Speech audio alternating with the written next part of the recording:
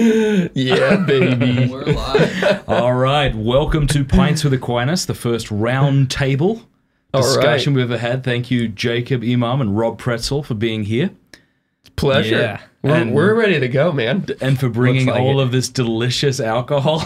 This was actually just what Robbie had in his car. It was amazing. I was Yeah. afraid someone would say that. oh man, now this is going to be good. So tonight, what we're going to do is talk a little bit about what the church teaches about alcohol. We'll see what Aquinas has to say. We're also going to do a bunch of blind tastings because I have gradually coming to the belief that all bourbon tastes the same, and I know that that's not right, but I'm just going to say it with confidence anyway. Is there any type of Australian whiskey? Not really, but rum's a big thing in Australia. All your pirateers and criminal backgrounds and Yeah, yeah, there it is. I've never been a big fan of rum, but uh, w- tell us about your first experience of, of maybe bourbons or scotches. well, I think I was five years old, and my dad came over with some Johnnie Walker. and Said, "You want to take a sniff?" And I, I did, and that was, uh, that's actually a true story. Wow. Yeah, he really kind of caved on his Islam stuff for you know when it came to a good scotch. Did you try it?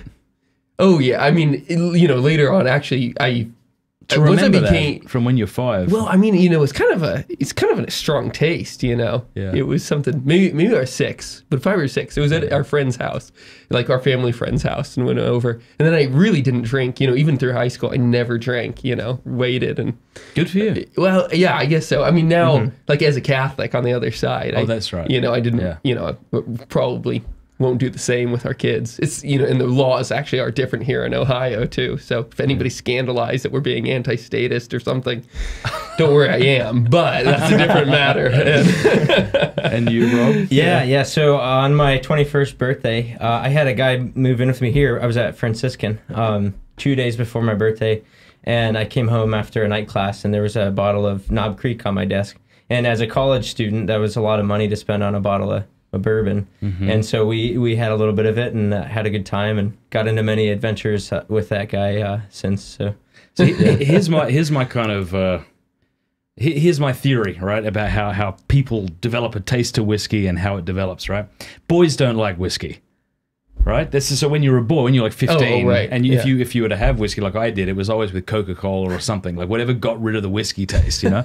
so when a man like like I think gets a taste for whiskey, you know, maybe he's 19, 20, even his mid 20s, you know, he immediately becomes pretentious and buys as expensive a bottle as he can afford and speaks about it with tremendous, uh, what he thinks, sophistication. But he has not yet reached the summit of the whiskey tasting experience.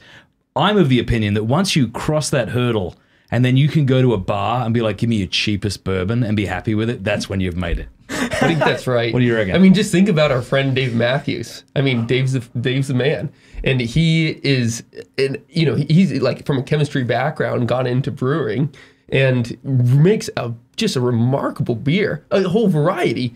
But he he's just as happy as anybody getting a you know PBR and just Yeah. sitting back and cracking open a Yuengling or whatever, and you know. All, all hats off. That guy knows how to enjoy everything. Yeah. You know, mm-hmm. Yeah, I was at Rocco Palumbo's the other day having dinner, killing quail and then cooking them and then apologizing for not enjoying the quail that we just killed. um, and, and yeah, like he had this really cheap bourbon. It was called Ancient Ancient Age, I think. It said it twice.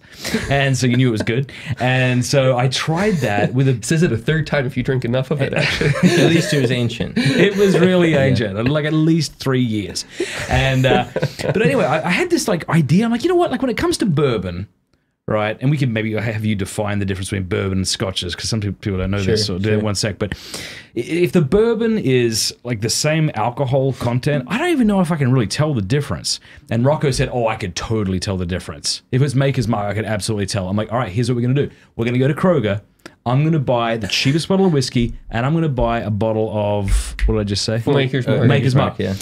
And if you can tell the difference, you can have that bottle. They went, we're on. So we drove down, we came back, we got like a 11 or $17 bottle, nice bottle of Maker's. He could not tell the difference. No, come he, on. he absolutely couldn't. Really? And so that now in my mind, I'm convinced that this bottle, where, where can I point it, Neil? Uh, you can just hold it up to the camera. Look, but that one? Yeah. This one is called Echo Spring, which is how much, Rob? Uh, Eleven dollars. That's eleven dollars. Yep. All right. This one here. And this here. this one here is called Augusta. We haven't even opened this. This retails for what? Two twenty to fifty. 220 $250 and this one rob because i'm just so impressed that you own this bottle of whiskey can be up to how much Uh, resale market anywhere from six hundred to thirteen hundred bucks. Yeah. and i'm convinced that i will not know the difference between echo spring and this and i think that's kind of cool Well, that is pretty cool. I am. I have to say, just for people watching, they don't know Rocco. Like he's a good buddy of all of ours, and and he is. You know, he's just such a, good dude. He's humble, and so if he makes a claim about something he can do, I would have expected him to be able to do it no Yeah. problem. Yeah, you he know? so that ashamed. actually, yeah. so that actually makes it like actually not more, only did i not like ba- his quail um, but rob tell us tell us the difference between scotch you know people get that confused you know Sure, whiskey's sure. bourbon So I, I'm no expert, but the you know Scotch is made in Scotland. Kentucky bourbon is made in Kentucky. You won't find uh, Kentucky bourbon that's made anywhere else but Kentucky. They're legally not allowed to put Kentucky bourbon on the label uh, if it's not made in Kentucky from like Kentucky spring water, you know all that. Um, yeah, and then there's American bourbons. Uh, and am i right in thinking an old bourbon has to be over 50% corn i think that's part of it I yeah, it's something along those lines. I can't remember the exact percentage, Yeah. but yeah. Because yeah. people sometimes think like, do you like Scotch or do you like whiskey or do you like bourbon? You're like, all of them are whiskey. We're just talking about whiskey. It's different types of whiskey. Yeah, yeah, yeah. Just different regions, different water sources, some of the different ingredients. Yeah, But it is a substantially different taste. I mean, I mean, absolutely. I- you know, Oh, absolutely. I mean this this rye versus like this this is a wheated bourbon here. Uh, they're gonna. I mean, you'll smell, taste. You, like if we wouldn't blind taste test these against each other, Yeah. they're so distinctly differently made. And We'll see. Maybe I'll impress you. well, With my lack yeah. of- I mean, you maybe you No, might be you're exactly right. I mean, it, obviously, if I have a Lagavulin, which Yeah. is a beautiful peaty Scotch, next to it, Scotch, I'm going to obviously tell the difference. But my, my claim is just that I don't know if I'm going to be able to tell the difference between bourbons. Mm-hmm, and even if I can tell the difference, it's not like six hundred dollars worth of a difference. It's like a dollar No, yeah. fifty worth of a difference. well, and that's a great test. Is we have this Weller 107, which is a wheated bourbon, uh, retails I think around 40. You know, and then you have this highly sought after Old Rip Van Winkle. The exact, it's a 107. Um, I believe it's also a wheated bourbon. So these would be a perfect comparison. Um, some people say that Weller is like the Pappy discard or the uh, Old Rip discard. So anything that they didn't like. So you know we'd really be getting a good taste if it's from the same maker and they're saying this one's worse than this one Yeah. and if we could tell Yeah. I don't I think we could and uh, yeah honestly I actually I think I like this one well I'll save it but I think I like this one a little better Well, before Yeah. we do our first blind test, I thought it would be cool if we just kind of talked about the church's position on alcohol in general. And you said that you'd been reading up a ton, and uh, yeah, this whole last hour. you, you know? were, you were quoting proverbs, I think. Oh well, I mean, uh, the place to start maybe is when they have uh, the Book of Sirach. You know, says Oh. that what is life without wine? You know, which is That's you a direct quote. That's a direct quote. You know, here, let me. I got the Bible right here. All right, the let's real do it. thing, and it says right here, "What is life to a man?" Who is without wine. but then he also says, it also goes on later and says, Do not reprove your neighbor at a banquet of wine, and do not despise him in his merrymaking. Speak no word of reproach to him. What do you think that? What do you take from that? Don't judge us, commenters, maybe? I don't know.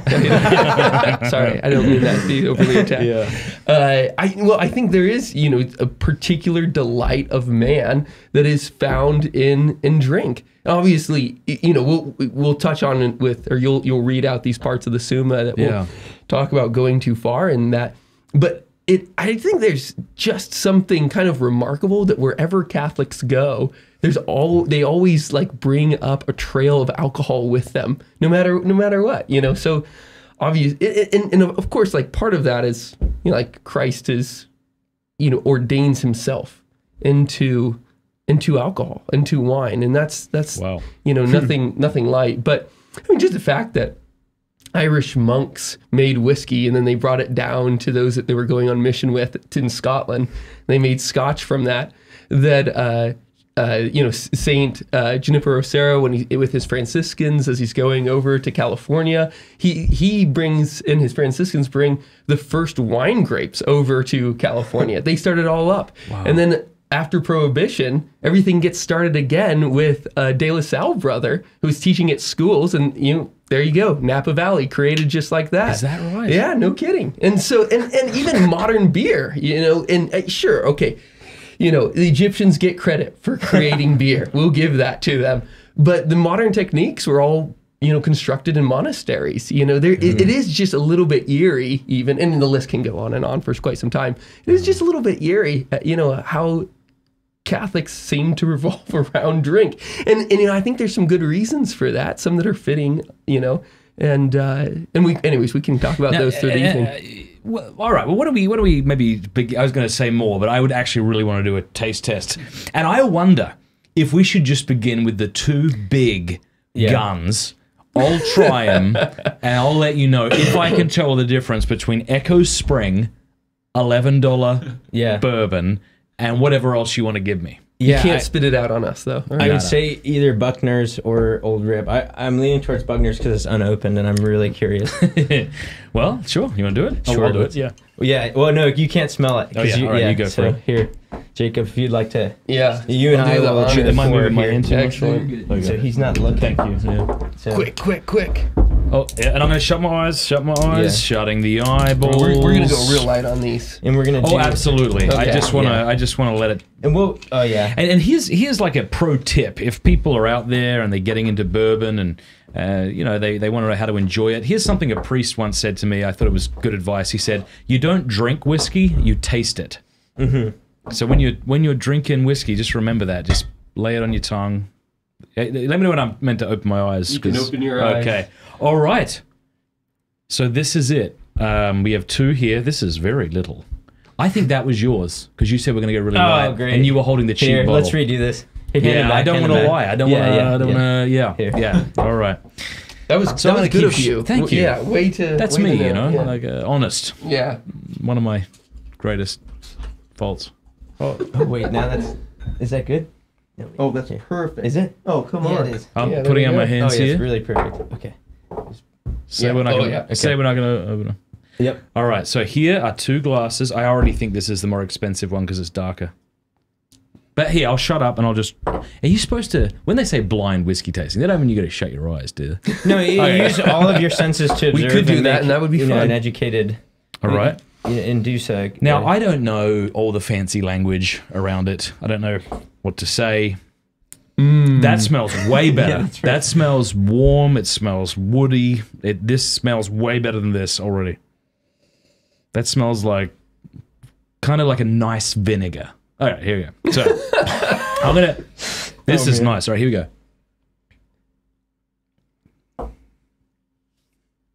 Is are these the same proof? No, they're slightly different, but you you'll be surprised. Maybe. That's that's that's lovely. All right, here we go.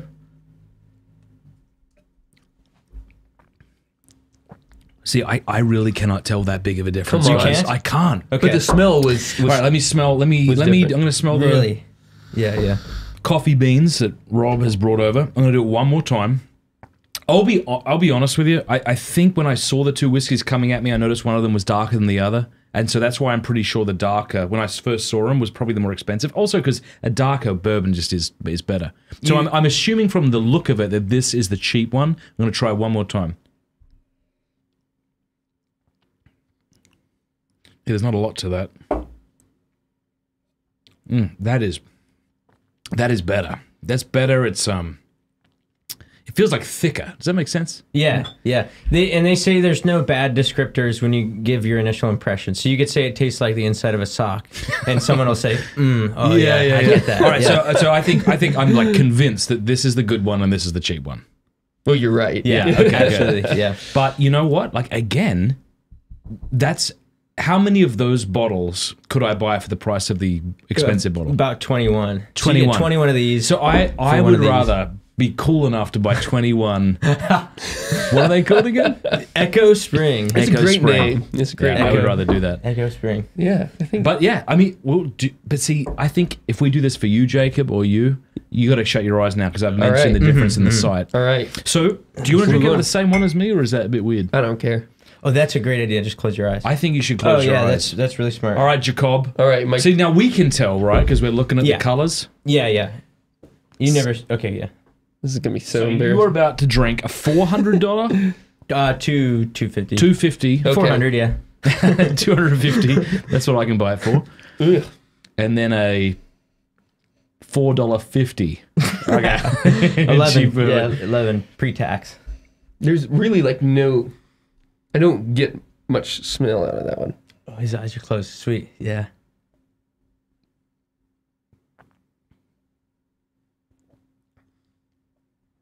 I, I can't say I really like that one all Okay. that much.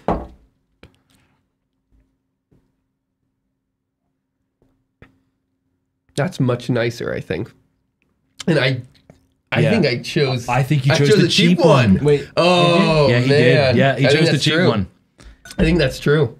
You yeah, I you did. He yeah. chose. Okay. See this. I am proving my point on here. Pints with Aquinas, That's boys, right Wow. here today. Yeah, And then I'll close my eyes. Let's also, I really didn't like this. This let's pour you know, one huh. for uh, let's pour one for Neil too Cool. here. Yeah. I'll do that right Yeah. after this. Well, Yeah. yeah. one for Rob, right? sure, I'm, man. I'm doing that. We are right definitely now. gonna do it for Rob, but Rob is a master, and I know Rob. Uh, it's like, what's the point? You build already it, know. build it up, build it up, because Build then it I'll up? be extra embarrassed. Can you give me Yeah. the reverberating? All right, I think you should shut your eyes because the will. difference in the I will, color yeah. is too obvious. yeah, I, I agree. I think that's great. All right. Okay. So you have to say which one you like better, but also which one you think is the Okay. expensive. Okay. All right. Mm. I, I think I like the m- more expensive one, but not by enough to pay two hundred. Not that I would ever pay two hundred. I didn't. I, you know, that was just. I can't even lie about my reaction. Everybody saw it. Mm-hmm. I'd like to say that I have a more sophisticated Are you palate. shocked by that? Uh, I'm more embarrassed than I am shocked. Yeah. but it was. But the smell was Here he goes. distinctive. Here he goes. So there's like a someone just blew the candles out in church at Easter Vigil from this. Honestly, no. Uh, as you tip it, that is weird. It's uncanny. You, I'll hand it to you, and you'll smell, and, and it'll smell like An that. old lady I named promise. Edna with false teeth promise, just blew yeah. out the. And as a kid, you're like dripping the wax onto the pew. It wouldn't be that Matt. with Did you cigar. drink a lot? Yeah, it might be that. Did you I drink a lot as a kid joke, at mass? actually. Is that why? Tastes just like Easter. All right, this is. I like this better. I love the smell. Okay. it's very unique, and I really hope. I don't care actually. I'll, I'll laugh if I embarrass myself here. I think this is the expensive one. I think this is the Okay, but before you open your eyes, yeah. how significant is the difference?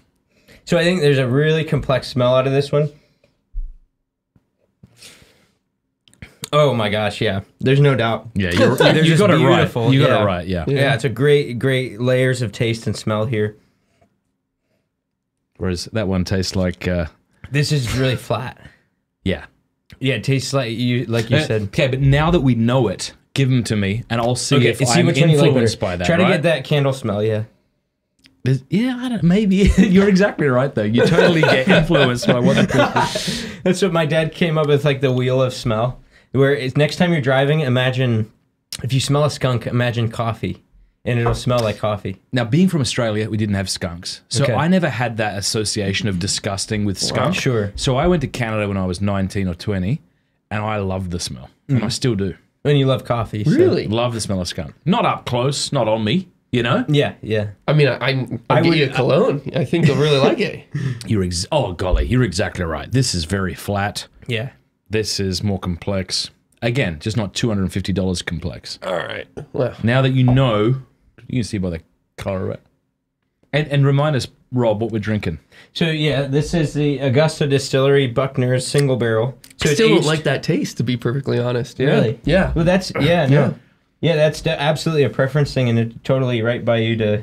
I had To a say that, yeah. friend. I He um, disagree. Shame on you. I had a friend. He uh, it was a great guy. He was in the wine business, and I I sat down with him once, and we are talking about a wine that maybe I sh- I uh, I did like and or or maybe I I can't remember how it was something that I should have liked or something like that. It's may, that's probably the theme with me, I guess. But he uh, he's you know was relaxed and he just said, you know, wine she's just the bringer of joy and nothing more.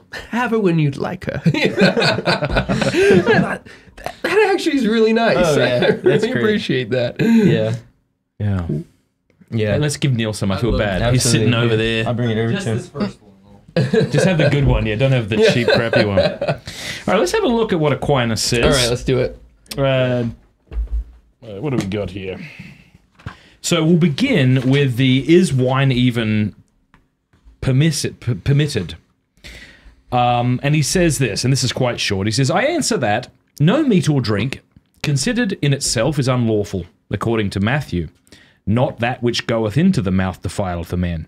Wherefore, it is not unlawful to drink wine as such. Yet, it may become unlawful accidentally.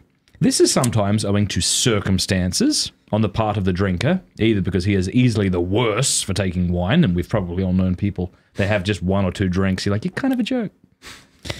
or because he is bound by a vow not to drink wine. We'll talk about Exodus 90 later. If you do Exodus 90, you commit to that. You probably shouldn't be drinking them. Um, or, uh, let's see, or it can result from the mode of drinking, because, to wit, he exceeds the measure in drinking, drunkenness, right? And sometimes it's on account of others who would be scandalized thereby. I'll give you a quick example of the scandalized thereby. Um, I have a great friend uh, in Georgia, and I went over to his house and we were having a great little kind of get together. You know, we're having a barbecue, that kind of thing. Um, and I said, "Well, I'll, I'll go buy a bottle of bourbon." And he said, "Actually, rather you didn't, because my wife uh, used to be an alcoholic, and you know, courageously is is no longer doing that." So that would be an example, I think, of causing scandal. Oh, yeah. Bringing That's a great people having a example. drink. Yeah. I mean, scandal most appropriately is defined as something that tells somebody something false about God.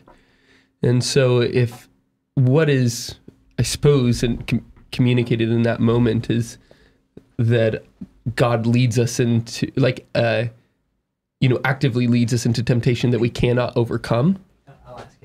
Oh, he can't tell. Did you give him both of those? Y- yeah. Could you, you tell? didn't switch them, did you?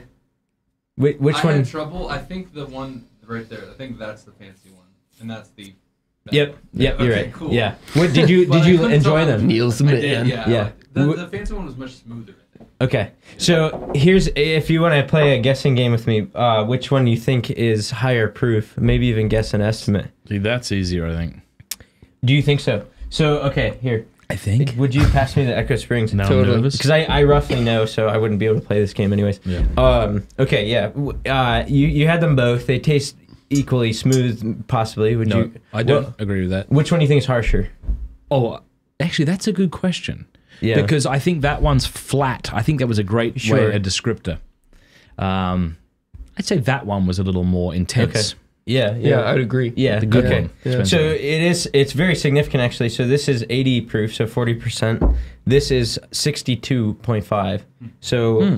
Uh percent. So 125 proof. okay, so I'm So right. you have that's you have I a that. major. I mean, Yeah. that's 22 and a half percent All right, difference. so but here's here's what I'm saying. If you get two bottles of whiskey and they're both bourbon and they're both the same proof, yeah, that's what I'm saying. it's It's, exactly essentially what I would do this. to tell. I would do this right now. Like, Let's do that next. All right. Yeah. Let, Do you want to you want to fill that while he finishes his point about Absolutely. Yeah. something you Yeah. said that was terrific, and I forget it though. Guessing the proof was more important. It was. It is. But um, I no, I, I do. I'm thinking out loud a oh, little ca- bit here. causing a So- scandal.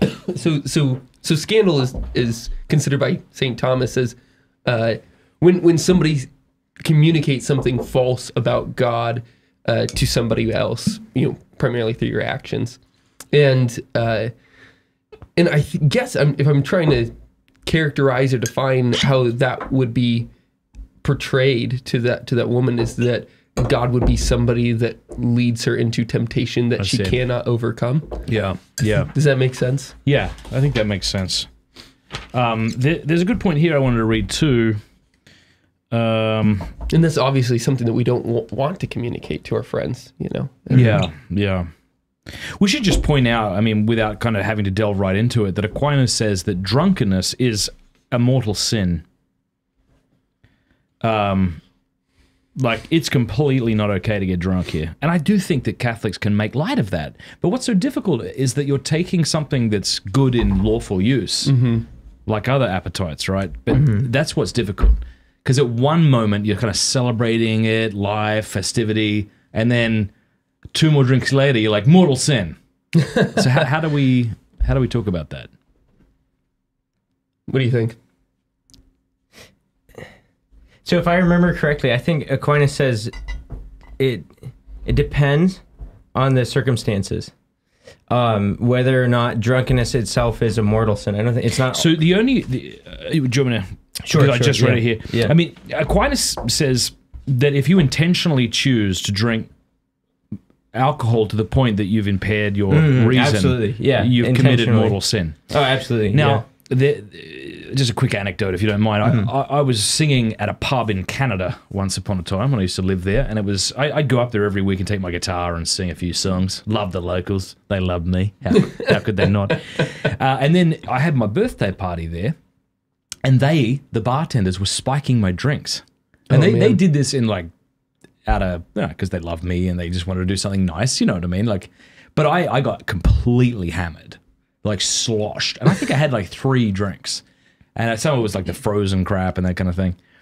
So it may have been a sin of inordinateness. Like maybe I shouldn't have had two big fancy drinks. Like you, you could maybe say is there a sin there, but I wasn't culpable for the sin of mm-hmm. drunkenness because I didn't intend it, and I and I couldn't have known it given that they were spiked. And he's he makes that allowance there if somebody yeah, you that's know, that's your that's the point. point I was bringing up. Oh, right. Yeah, yeah, Yeah. It's that it's it's not drunkenness in and of itself is not always a mortal sin, but intentionally bringing yourself to drunkenness uh, is potentially. So here's yeah. the three Well, things he this is- says. He, here's the here's the three ways we can consider the sin of drunkenness. First, so that he, let's say me, Matt, knows not the drink to be immoderate and intoxicating, and then drunkenness may be without sin. That's what happened to me at that pub. Mm-hmm. Right. Mm-hmm. Mm-hmm. Second, so that he perceives the drink to be immoderate, but without knowing it to be intoxicating, and that's what I meant before. It's kind of like a gluttonous kind of thing. I wonder. Like you, you're, you're kind of drinking Yep. too much, just the way you might eat too much. Yep, yep. Um, so in that sense, uh, he says this drunk the drunkenness on that part might be a venial sin, and thirdly, and this is I think more typical, or at least what we mean when we talk about drunkenness being a sin. Mm-hmm. He says it may happen that a man is well aware that the drink is immoderate and intoxicating, and yet he would rather be drunk than abstain from drink. Such a man is a drunkard, properly speaking because morals take their species not from things that occur accidentally and beside the intention, but from that which is directly intended. In this way, drunkenness is a mortal sin, because then a man willingly and knowingly deprives himself of the use of reason, whereby he performs virtuous deeds and avoids sin, and thus he sins mortally by running the risk of falling into other sins. Uh, St. Ambrose says, we learn that we should shun drunkenness, which prevents us from avoiding grievous sins. For the things we avoid when sober, we unknowingly commit through drunkenness. And that's definitely been like, you know, I remember as a teenager, I'd get drunk and I'd just do stupid things and not good. Anyway. Yeah, yeah. I think um, there's it's like a beautiful thought to the way that, as you had mentioned, alcohol maybe connects with the church in the church's seasons, uh, the traditions and seasons, and um, I think seasons have occasions and they have like special embellishments to them, right? And um, the way that we when we have a reason to celebrate, we tend to have, you know, maybe have alcohol with it, you know, as a form of embellishing a celebration. Um, Well, Sa- Saint, uh, uh, Saint, goodness, G.K. Chesterton actually has that as his rule for drinking. What's Yeah. that? That you should only drink when you would otherwise be happy yeah. to yeah. make you happier. Yeah. To be able to mark those occasions. But if you are, if you are sad, if you're, you know, you know, angry, Mm-hmm. even those are the times when you know you shouldn't touch it. Mm-hmm. I mean, it's a rule. So like all things, law has to pa- pass into virtue. Um, but it's a pretty nice one, I think. You know, and I think Yeah. it, it marks what what you're trying to Yeah, like along hit those is- lines. Oh, sorry. yeah, what, what it hits as kind of a uh, just something that we more innately do as, as Catholics. Oh, absolutely. Embracing tradition and the beautiful uh, things that go with it. And I, I- there's a little story to go with that. Actually, this bottle of Old Rip is really special. Um, Matt, you were there the day I brought my son home. Yes. Um, our, our firstborn son, I had acquired this bottle specially. They're very hard to find. When you can find them wholesale, they're not ridiculously expensive. But as I had said They're before, rare. aftermarket, they're so rare and people covet them, so they go for a lot of money. And um, so I was able to acquire this and I saved it. I had opened it uh, on the day of his birth, and I made a special occasion for tonight uh, Yeah. because I the rest St. of this. Nick's feast day. Yeah, Yeah. the rest of this I'm like pumping in nitrogen or like CO2 into it and preserving until he's 21 and having it with him. You That's know, so beautiful, just man. again this kind of tradition or this this like season to have with him, you know, and to Yeah. help him to appreciate that there are special things for special occasions. What a you know? beautiful thing. Yeah, I tell yeah. you, if I was if I turned 21 and my dad pulled out an old dusty, and if it wasn't dusty, he would have known enough to make it dusty. If he had brought that out when I drank this the day you came home, like that, what a beautiful thing. Yeah, You, you got to do it, dude. Yeah, I will, and he'll Hey, probably that- won't- That's the bottle, right? This is the bottle, yeah. Yeah. He probably won't like it, but all the same, you know, he'll learn to be a man that way. You know, He'll Uh, be moved by it. yeah, Would be moved by it. yeah, yeah. I got a, I got a theory. Uh, I want to test on you guys a little bit to see what you think of it at least. So you have, you know, St. Thomas and, and, and quite a number of, of people in the tradition saying, you know, drink to merriment and no more, right? So at that point, I what- don't think Aquinas ever said that. He's often attributed to saying that. Who said that? well, I clearly thought it was St. Thomas. It would be. A, it wasn't him. Okay. Because I've I've looked. I, I once quoted him and got did you- schooled on the internet. Did internet. you? so Okay, I've- thanks for yeah, yeah. schooling me now before I get schooled elsewhere. What's the quote? I can look it up. Yeah, oh, you'll find Aquinas saying it in a bunch of like what Aquinas said, but it won't be true. Okay. Uh, drink to the point I, of I merriment. assumed that it was a no commentary further. on 92, on Psalm, uh, Psalm Psalm 92. But maybe, uh, yeah. I hope Okay. I'm. I hope I'm wrong about being wrong. I because it's a doubt beautiful. that It's you a are. beautiful quote. I've never really looked a great deal into his uh, commentaries on the Psalms, but Okay, okay. Well, anyways, the the, I, the idea even here within you know Sirach when you find that you like do not approach uh, your neighbor in his merriment, it's it's it captures the same idea of what I'm yeah. talking about. So okay, I'll have I can't rely on St. Thomas. Got to fall back on the Bible. But uh, the but I think there is there is an idea here of um, why is it that within merriment, your reasoning is obviously n- not gone, but you're not, you know, sitting down to read a dense tome at that point, right? I mean, Yep. there is something Yeah. where you have uh, done away with the most crisp or, uh, Yes. part of your your intellect, right? So why is why is that actually okay? And that's so, a great question. and so I, I don't really have a, a clear answer, but here here's what I here's my first guess at it at least is that in our reasoning, our ability to reason logically, we don't actually participate with God in that because God doesn't reason logically. He understands totally, completely. He doesn't need to reason. Um, this is just one of those things where he's so much uh, above us that we cannot actually approach, uh, or we can approach. But the way that we approach that type of complete understanding is through our reasoning and through his illumination. Um, in the joy actually that you find in these in these occasions of true merriment you know when there are feast days when you're with your friends when you're with your family and you're thinking you begin to understand a beatific joy in a, in a certain way that we will enjoy when we have actually come into the beatific vision itself. I think that there's something that's actually appropriate and fitting in that There, I what do you think about that I, that theory Yeah, I think there's a simpleness and a purity to merriment as well. You know, I think it's Yeah. innocent. Uh, the joy that's had in merriment. Yeah. You know, I think of uh, maybe singing songs that we all know together. You know, uh, or things like that. Uh, this guy's birthday yeah, yeah. Uh, and and I think that's pure and innocent and childlike. You know. Um, Yeah. And and uh, that's what I think about that. cool You know, Yeah. it is true that we drink to have a physiological response. Oh totally yeah So it's po- it's important to say that like drunkenness is a sin, and yet the reason anybody has a drink isn't necessarily because of the taste. oh yeah I mean, that's not why they're doing it. I mean, they like the taste, and that is definitely part of it. Mm-hmm. But you have a drink for well, in order to calm down, in order so that social interactions may flow less awkwardly. Mm-hmm, You know, like that. That is part of drinking. That is why people drink, and I think that's okay. Yeah. There's also, I wonder, I was trying to think of analogous examples of when we engage in things that blunt our intellect somewhat, but it be okay. You know, like sitting by the fireplace and having a having a cup of decaf tea. you know, in that that's a different kind of frame of mind Oh, sleeping. I to mean, the uh, man who's just pounded ten coffees and is reading the Summa. So in that sense, Yeah. if it's if it's wrong to kind of blunt, as you put it, that crispness of the intellect, having a glass or two of whiskey, it would be many other things would be wrong. So that that kind, I know that's not what you're arguing, but that couldn't be a good argument against drinking. Oh, I'm de- definitely not Yeah, making that no, argument. I mean, sleeping, I think, is the is a preeminent example. Is that we're you know none of us are doing much at, at all. You know. you know, it- you know, interestingly, like one, and one of the reasons this is interesting in the Summa, Aquinas argues that sex isn't immoral. and what he says is one of the objections is, yeah, but when people, this is my Australian colloquial translation, yeah, but when people have sex, they go out of their mind. Like it's an ecstatic experience. And Aquinas says, yeah, but like they're aware of that prior to the sexual act, which is natural and good, and therefore it's okay. I'm not I'm not equating that to drunkenness and saying drunkenness is okay. I just find that interesting that that was one of the objections he responds to in the Summa that that well, sex can't be good because when you climax, you are somehow ecstatic or in some. No, I think that's Did I actually make things weird there? No, no, No, no. uh, we're gonna leave actually.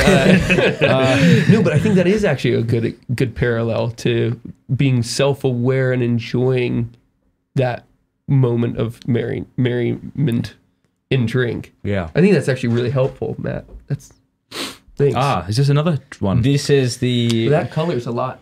See, this looks s- similar. Okay, what, what am hmm. I? Don't tell me which is which. Obviously, I won't tell you which is which, but this is the Weller versus the old rip. Weller versus They're Old Rip. So that Old oh Rip, I looked that up online. It was sixteen hundred dollars. That's what I saw when I looked it up.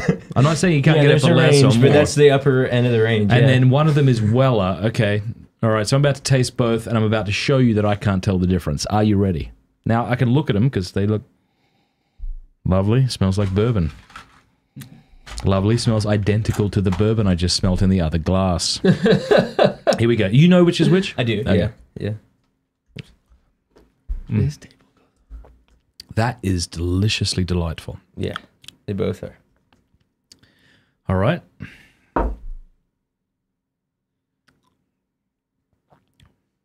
I think I like this one slightly more, Okay. but I can't really tell the difference Okay. between a sixteen hundred dollar bottle. Why do you like wa- that one more? Uh, all right, let me do it again. Yeah, yeah. I don't even know why. Let me drink some water. Feel free to smell some while I coffee drink. beans too. Yeah, yeah. Don't get me wrong; it's no Echo Spring or ancient ancient age, but it'll do. All right, here we go. I'm just waiting for you to set this fire. this table on fire. You know, what I, you know what I was saying? Like, there's like a, a smoothness. Another word that comes to me, since you said there's no stupid ways of defining saying things, there's a roundness to Yeah. the drink. There's Yeah, not like yeah. a bitingness to, to both of these. It's funny you say that. Maybe I don't know if you, you you might not even remember, but everyone that I've shared this with has said that exact same thing. What's that? Like that it rolls through your mouth, like it's round. Yeah. In some way, they exactly. describe this circular. Yeah, that's so funny. I don't remember that, but that is my No, experience. yeah, no, because yeah, it was a couple of Father Sean, uh, Rocco, who we mentioned. You know, yeah, you guys all. I think my dad said There's that more too, going yeah. on towards the end here. Okay, okay, It's like that stays the same throughout. sure. This starts like that, and then there's like spice sparkles. Yeah. so they're they're the same color and everything, so it won't give it away for you if I tell them. All right. The the one that you like better, the one that you explain is more complex, is the. I'm just Rip. gonna. Oh, I'm mixing it. but up. no, wait. no, but no, we don't know which is which. No, Yeah, I do know. yeah. Okay, well, I'll mix it we for go. you. That's nice I'll to it know. you. Because you still know, you mixed it. Yeah, That's you- how. That's how he Matt, handed would it you to hold me. this? please? Yeah, sure. Thank Uh, you. Uh, how did he hand it to you? Like No, handed dude, it you gotta to just this. just drink him and we'll start Uh, again. Yeah. Oh, see, what a champion! That is funny though. That's cool that I that I the complexity. I, I but just just because it was more complex doesn't mean I liked it more. I feel like the uh, the Sicilian in um, the Princess Bride.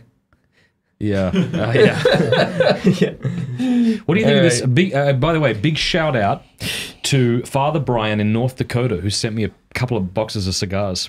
And this is what you like. This one? I love the taste of the wrapper, and my initial impression is that it's a little spicy. Don't move them. Don't But you dare. I'll have to come back to you on that. yeah. Well, we, this is all recorded. We can figure this out, right? What's that? Yeah, they if they could see me mixing them. yeah. In case I forget, we might have to scroll back. I was trying. I've been trying to follow because I type in chat which one's which as you guys are tasting. Do you know? this Oh, is really nice. right. Actually. Okay, okay. Sorry, guys. I Oh, think I know. be. No, I'm just kidding. All right, here we go. I- that was very lovely. yeah. This was the sparkles. I think. This, you know, you like that? The the the prickly spice sparkles. Tell Yeah, us the difference think in that's more- price. Like so, upwards of sixteen hundred I- I like because of the rarity. The I think- Weller's usually what? The ladder. Weller's 45. Well, you know, 45, in. PA or in certain states where you can't get it, uh, or like state regulated states, they'll put it on lottery up to maybe 100, I 150. feel like I've But- proved my point in this episode. Um, I I think this one's superior. as I handed it to you, right? This is you're handing it back to me as I handed it to you. Jacob. Yeah, yeah, yeah. okay, you got it as well. You did get it as well. This is the Okay, uh, the awesome. older. Great. But like sixteen hundred to forty-five. It's not that big of a difference. this is my point. All bourbons are the same, pretty So- much. Get over yourself and drink the Echo Again, Spring. wholesale, wholesale. This isn't that. This is maybe double or triple what Okay. you get Weller for. okay. There's, I guess, there's just a consistently distinct flavor to this that they reproduce very well. And when you usually when you're paying that much money for something, it's because they can reproduce that experience that you had per- perfectly, Yeah. you know, or as close to perfectly as possible. You know, and you'll you'll get something like this that maybe five years ago when they made it, and you have that bottle, and you have this one, they might taste slightly different. You know, and Yeah. th- that's a little bit of it. I, I think. see. And the, obviously with this, the rarity of it, the exclusivity That's of right. That's that they only release a certain number of bottles. Uh, Granddad, this old grand. So, just for anyone out there, you got no money on you, but you want to get a good cheap whiskey. This, in my estimation, Oh, that's a great- is the best cheap bourbon. Actually, maybe I don't even know. We should do Echo Spring versus Old Grandad, Oh, yeah, the we two should. cheap ones. Yeah, because that's what 100 proof, This is 100 proof. What's and that? this is 90. yeah. So, So, I might pretty be able to tell, but yeah, this is terrific. And how much? is that, Like $17? I, I- think? Or $20? I think it's like like 20 25. something. Come yeah. on. Come on. Neil, you're up. Well, here we go. See how we do. I'll keep track of it. Okay. I, I remember too. So. Now, what what do you think of this? Uh, okay, I had a couple of thoughts. Uh, The first is, um, you know, what do you say to those people who are like, okay, that's terrific, fine, you know, alcohol can be consumed appropriately, but my father was a drunk, and I feel like you're making light of the pain I had to endure by making pushing this in my face. What's your kind of comment to that if someone were to say something like that? Because I certainly feel terrible for people who've had that experience and wouldn't want to make light of it. Of course not. But it, you know, Yeah. You know, the internet's weird. You know, because there, we, we can't be self-selecting. Like when you went over to That's your buddy's right. barbecue, yeah, and and he said, you know, you know, please don't bring a bottle or don't don't go buy a bottle. Like that's very personal, and you have to act appropriately in the space. But the internet is universal, and we really don't know the people that we're speaking to and Yeah. with, in a sense. it's almost on them to be more discerning than it is me. Yeah. So long as I'm not doing anything inappropriate Yeah, inappropriate. your thumbnail for your video is we're tasting bourbon. Yeah. So keep scrolling. Yeah, Yeah. yeah. I, I think um, yeah, the more personal it is, the more you do have to have that prudence and you have to have that um, awareness, you know, to respect the people that you're you're with. Yeah, actually, Aquinas makes a good point on this as well. But first, we got to see what uh, Catholic Jamie thinks. We're going to bring that name back. I don't know if it's belittling or not, but that's it's my favorite. I'm trying to figure out which one I like better. Um, so here is one of his objections. Here is sort of in it, it kind of responds to what I just said. Hmm. So for those who aren't familiar with the Summa, Aquinas sets himself objections and then responds. And here's one of the objections. So this uh, this is not a this is not Aquinas's thought. This is what people he's about to disagree with think. Right? Someone might say this. Further, whoever causes another to sin sins himself. Therefore, if drunkenness were a sin, it would follow that it is a sin to ask a man to drink that which makes him drunk, which would seem very hard. That's similar to what I'm saying, isn't it? So, right, so like, if drunkenness is a sin, then I shouldn't even be like, "Hey, you want to drink?" Because I'd be somehow leading you to sin.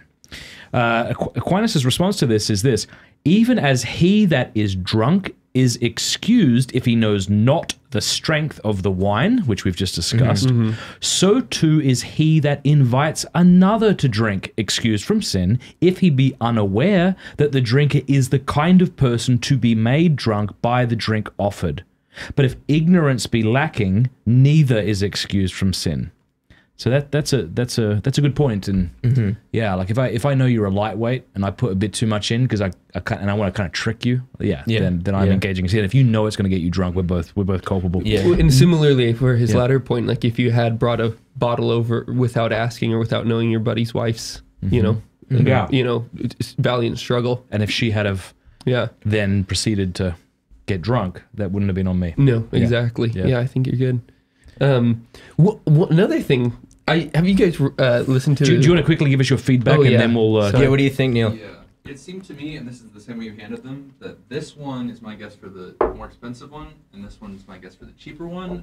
Okay. They were different, but I liked both of them. They were both really interesting. Yeah, yeah, and and um, did he get Is it right? no, so this one is the Okay, old rip.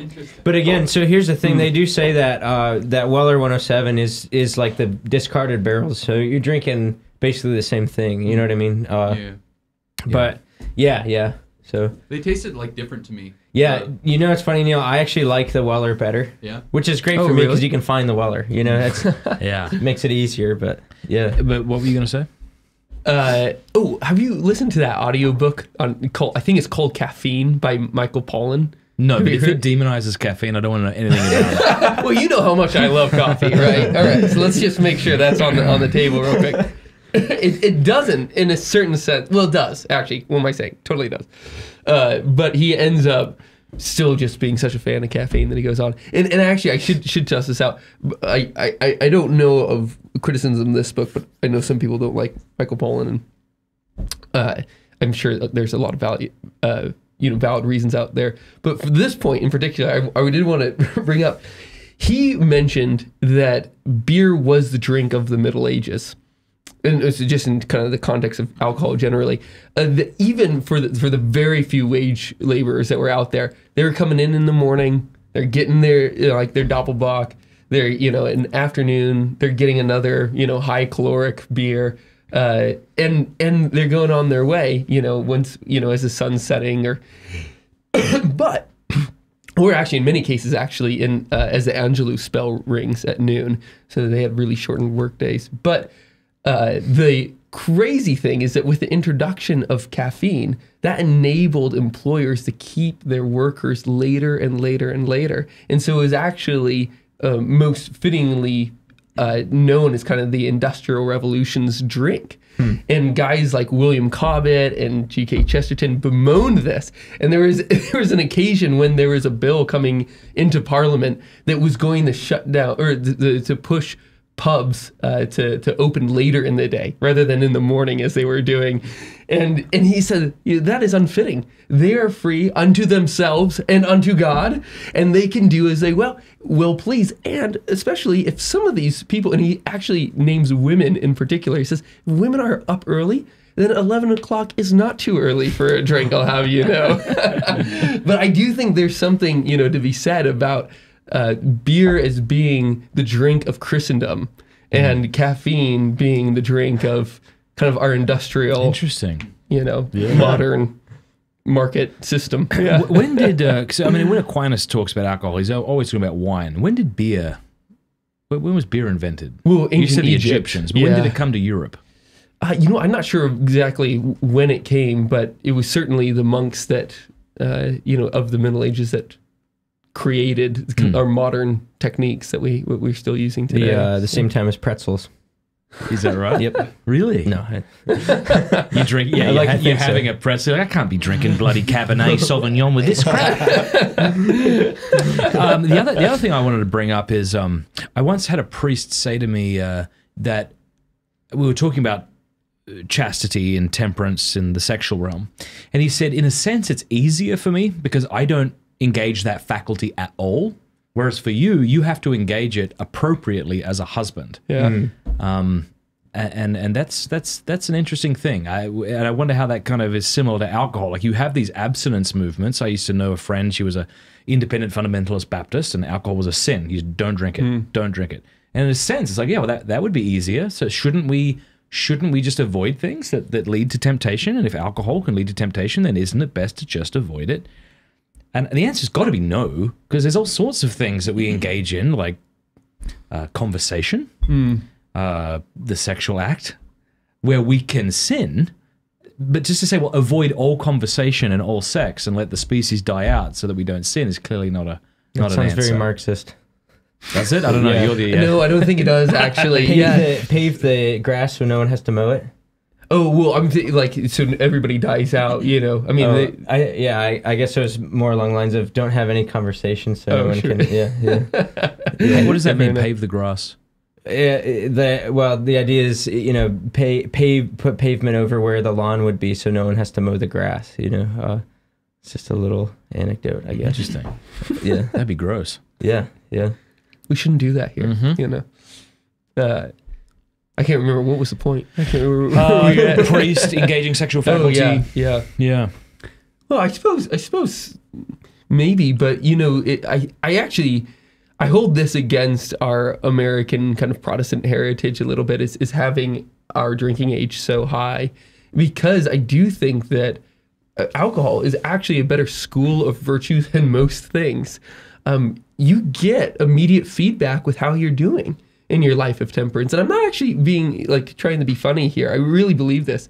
Um, you actually have this immediate feedback. Have I gone too far? Do I need to slow down? Do I need to restrain myself? How am I doing? You know, Yeah, Dad, how, you know, Yeah. please help me along the way. Teach me.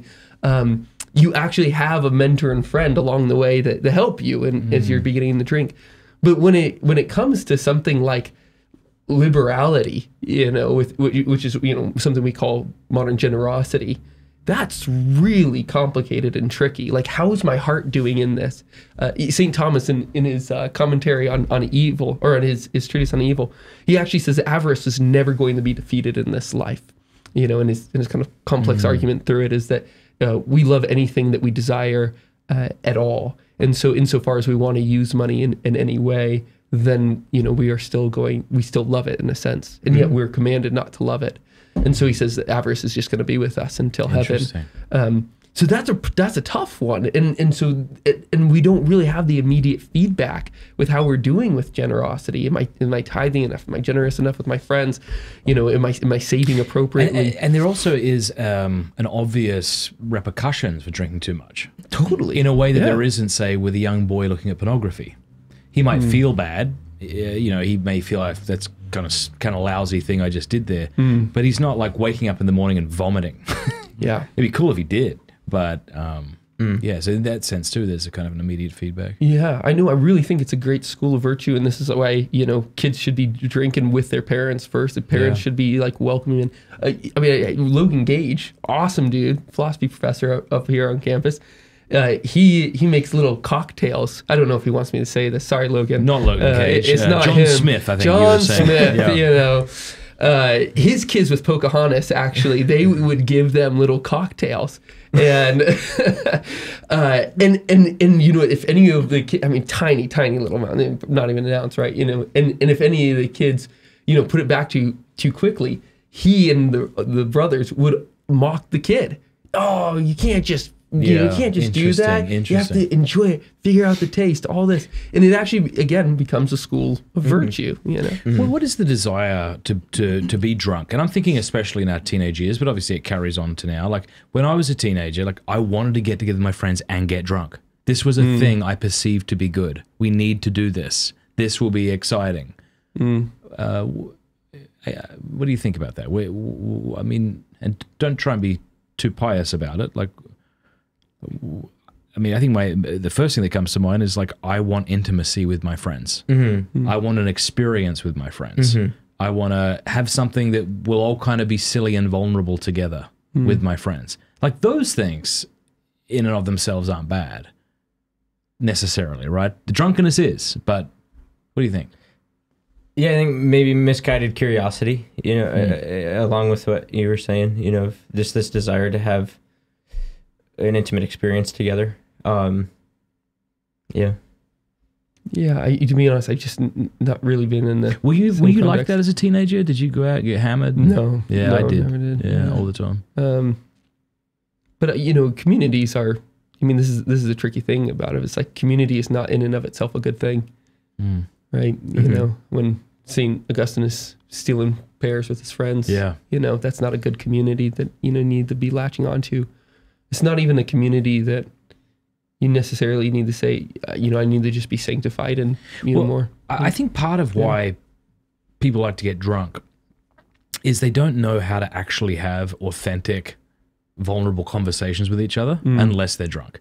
Hmm. Um, I don't know if, as men, you know, when I was a teenager, that was poo pooed. Like, you don't say to your mate, "Hey, I, I, I love you. Like, you mean a lot to me." Hmm. And so I think there was a sense in which, like, I want to be able to express these things, but I'm being told I can't say those things. When we get drunk, we say those kinds of things. You know what I'm saying? Mm. Mhm. Yeah, I just you know I can't comment on it well, but that makes a lot, it makes a good bit of sense to me. Yeah. Yeah, failure of being raised though. I think you know that's just a is it just a theme. Yeah, I was You know, actually, I was actually everybody never talks about told that, that. drunkenness was wrong. You know. Come on. Oh well, yeah. I suppose with yeah Mm. everything you shared.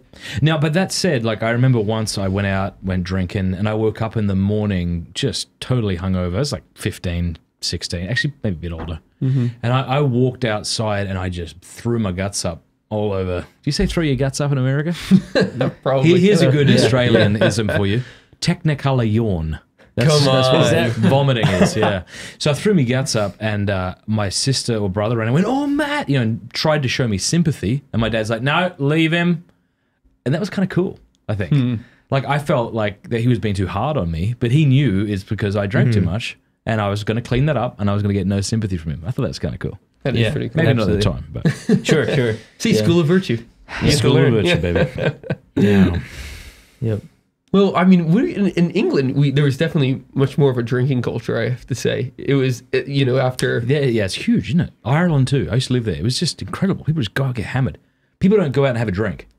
They go out and get hammered all the time. Now, why do we laugh at that? We all just laughed, all of us. Why do we laugh at that?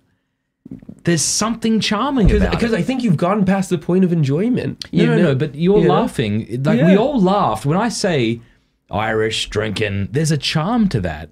But Well- I'll tell you this when I lived in Ireland, Well, I wasn't actually referring to going out and getting smashed, like in like Okay. or that's in not what, the what was the chuckle. culture. What was the chuckle? Oh, you know, when you said when I first brought up like there's more of a drinking culture in England. Yeah. yeah. When I mm. was bringing that up, I wasn't saying referring to everybody, you know, uh, starting knitting their technicolor yarn or whatever you say. no, technically yawn, yarn. yarn. Oh, I got you. There you go. Yeah. It makes no sense. Um, but just let me quickly finish Yeah, this point. yeah, That's to say, in Ireland, I remember just it just devastated families. Like Mm. we lived in the Gaeltacht, the Gaelic speaking area, one of the two main Gaelic speaking areas of Ireland and Donegal, and every single family had an alcoholic in it, and it was brutally sad. It was just awful. Hmm. And I remember being, you know, hearing like the Irish drinking, they love the drink. And we say that, and maybe it's because we laugh because we think of it in the kind of merrymaking sense, like the good, healthy sense. But when I was there and I just saw the alcoholism, it was so unappealing. It was gross. It was really gross. I had in mind uh, college students going out and getting smashed when you said it. Yeah. you know and i do think that's a bit funny Yeah. you know because they're going out for enjoyment and yet they've gone past the point i mean every man knows that at one point you've you've gone past the part gone past the part of happiness Yeah. you know and, and, and into misery Neil, do you have any thoughts? Yeah, well, I have a lot of things rattling around my head. What I thought what you said earlier, Jacob, was really interesting when you were talking about like uh, it's the sacrifice of losing your higher fa- faculties. Because my what my like two cents on alcohol has always been that it seems in some way to enhance our connection with our emotions. So in some ways, like Mm. you know, the same way sitting down and thinking about your emotions. If you have like a drink, it can help you get more in touch with the things that you're kind of feeling on a deeper emotional level. And I think that goes with all the you know drinking with friends can bring us closer because everyone's you know more e- ready can more readily share their emotions. But it seems to also like get rid of a lot of inhibitions too, and a lot of like higher Right. functionings and decision making.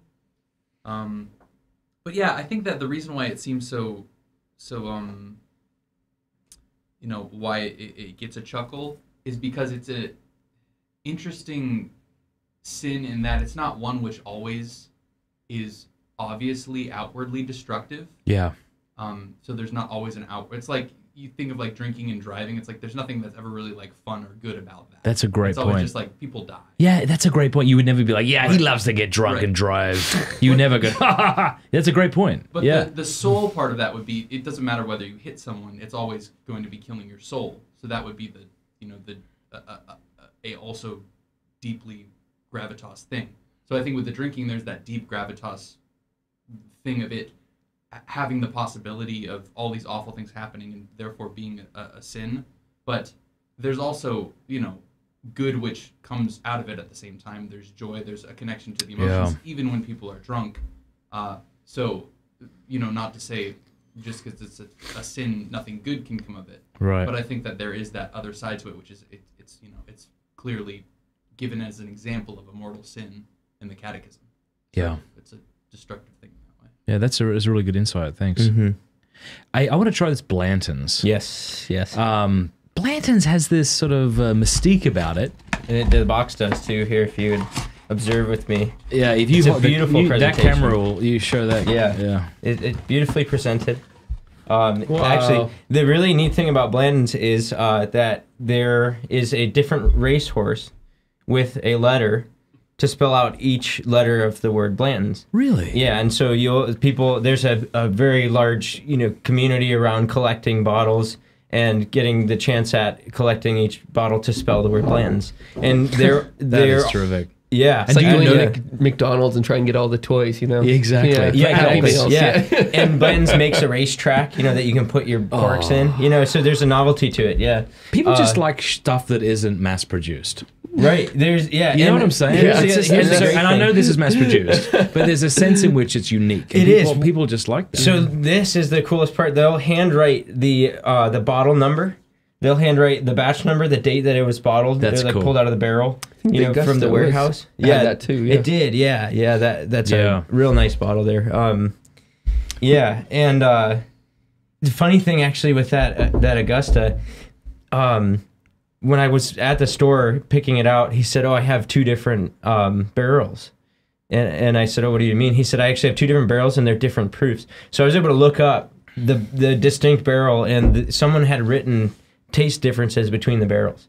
I just picked that one because it sounded more interesting to me. But Interesting, yeah. uh, yeah, yeah. So this is this is Blanton's. Um, also a little bit difficult to find. Um, it's actually made by the same makers. Uh, it's out of Buffalo Trace Distillery. So you have Oh, Buffalo yeah. Trace here. Sazerac owns all of that and many more. Um, Old Rip, like all of these are uh, Weller. You know, Yeah. uh, Eagle Rare, like they're all from that same family. Um, and there's this real great wax in it. That's nice. Yeah. Hey, I got a, I got a question. I think this kind of feeds into what you do at New Polity somehow. Hmm. Is that if if we looked at this bottle here with the handwriting of the batch number, the bottle number, etc., and we looked closely and discovered that it was actually printed but made to look as if it were written, we Yeah. would all be disappointed. Totally. What is that? Uh, fraud. It- being lied to, being tricked? Is that I what we think don't like? so. like? Yeah, I mean, there's something, i- i- and not all of this is, is wrong, but I think whenever there's something hidden, um, we feel like we've been. Uh, well, this is actually true on even on an intimate level. When when something is hidden from us, there we haven't actually entered. I kind of want to just have some, just to have some. I'm tired of the blind taste. Okay. Actually, we Do all know I can't tell Can the you fill difference. me up with that? Second? Sure, Or yeah. unless Let's that's just- the let's just full have a little yeah. bit. I'm, unless you were hoping to have a couple others as well, I can give you a glass of it. Or Yeah, I'll have a, I have a glass of that. okay, great. just a little. Yeah, no, I Um, think, yeah. I think the idea is like Thanks, when we're mate. not actually brought in to the full truth, we, we, we lack. feel- But that said, gypped, if it was the other way around, if this was made to look printed and you look closely and you saw someone actually wrote it, you'd be impressed. So that's that's it's something else. It's it's no, the- no, I don't. I, I don't think so. If So- you looked at this and were Yeah. like, "Oh my gosh, someone actually wrote that," they, Yeah, yeah. that looked like it was printed, but it was actually hand wrote. yeah, no, I, I think uh, You no, wouldn't be offended at that point. I would not be offended. but you're offended in the other way around. If it if it looks real but is printed. Yes, I think that because there's something there's something hidden that's that's going on. They're trying to deceive you Mm-hmm. Okay. of a point of intimacy But they're not that trying to deceive have. you if they actually hand wrote the whole. No, label. of course not. Yeah, Okay. yeah, yeah. And, and they're also not trying to deceive you if they printed it. You know, it's like, all right, I know what I'm getting.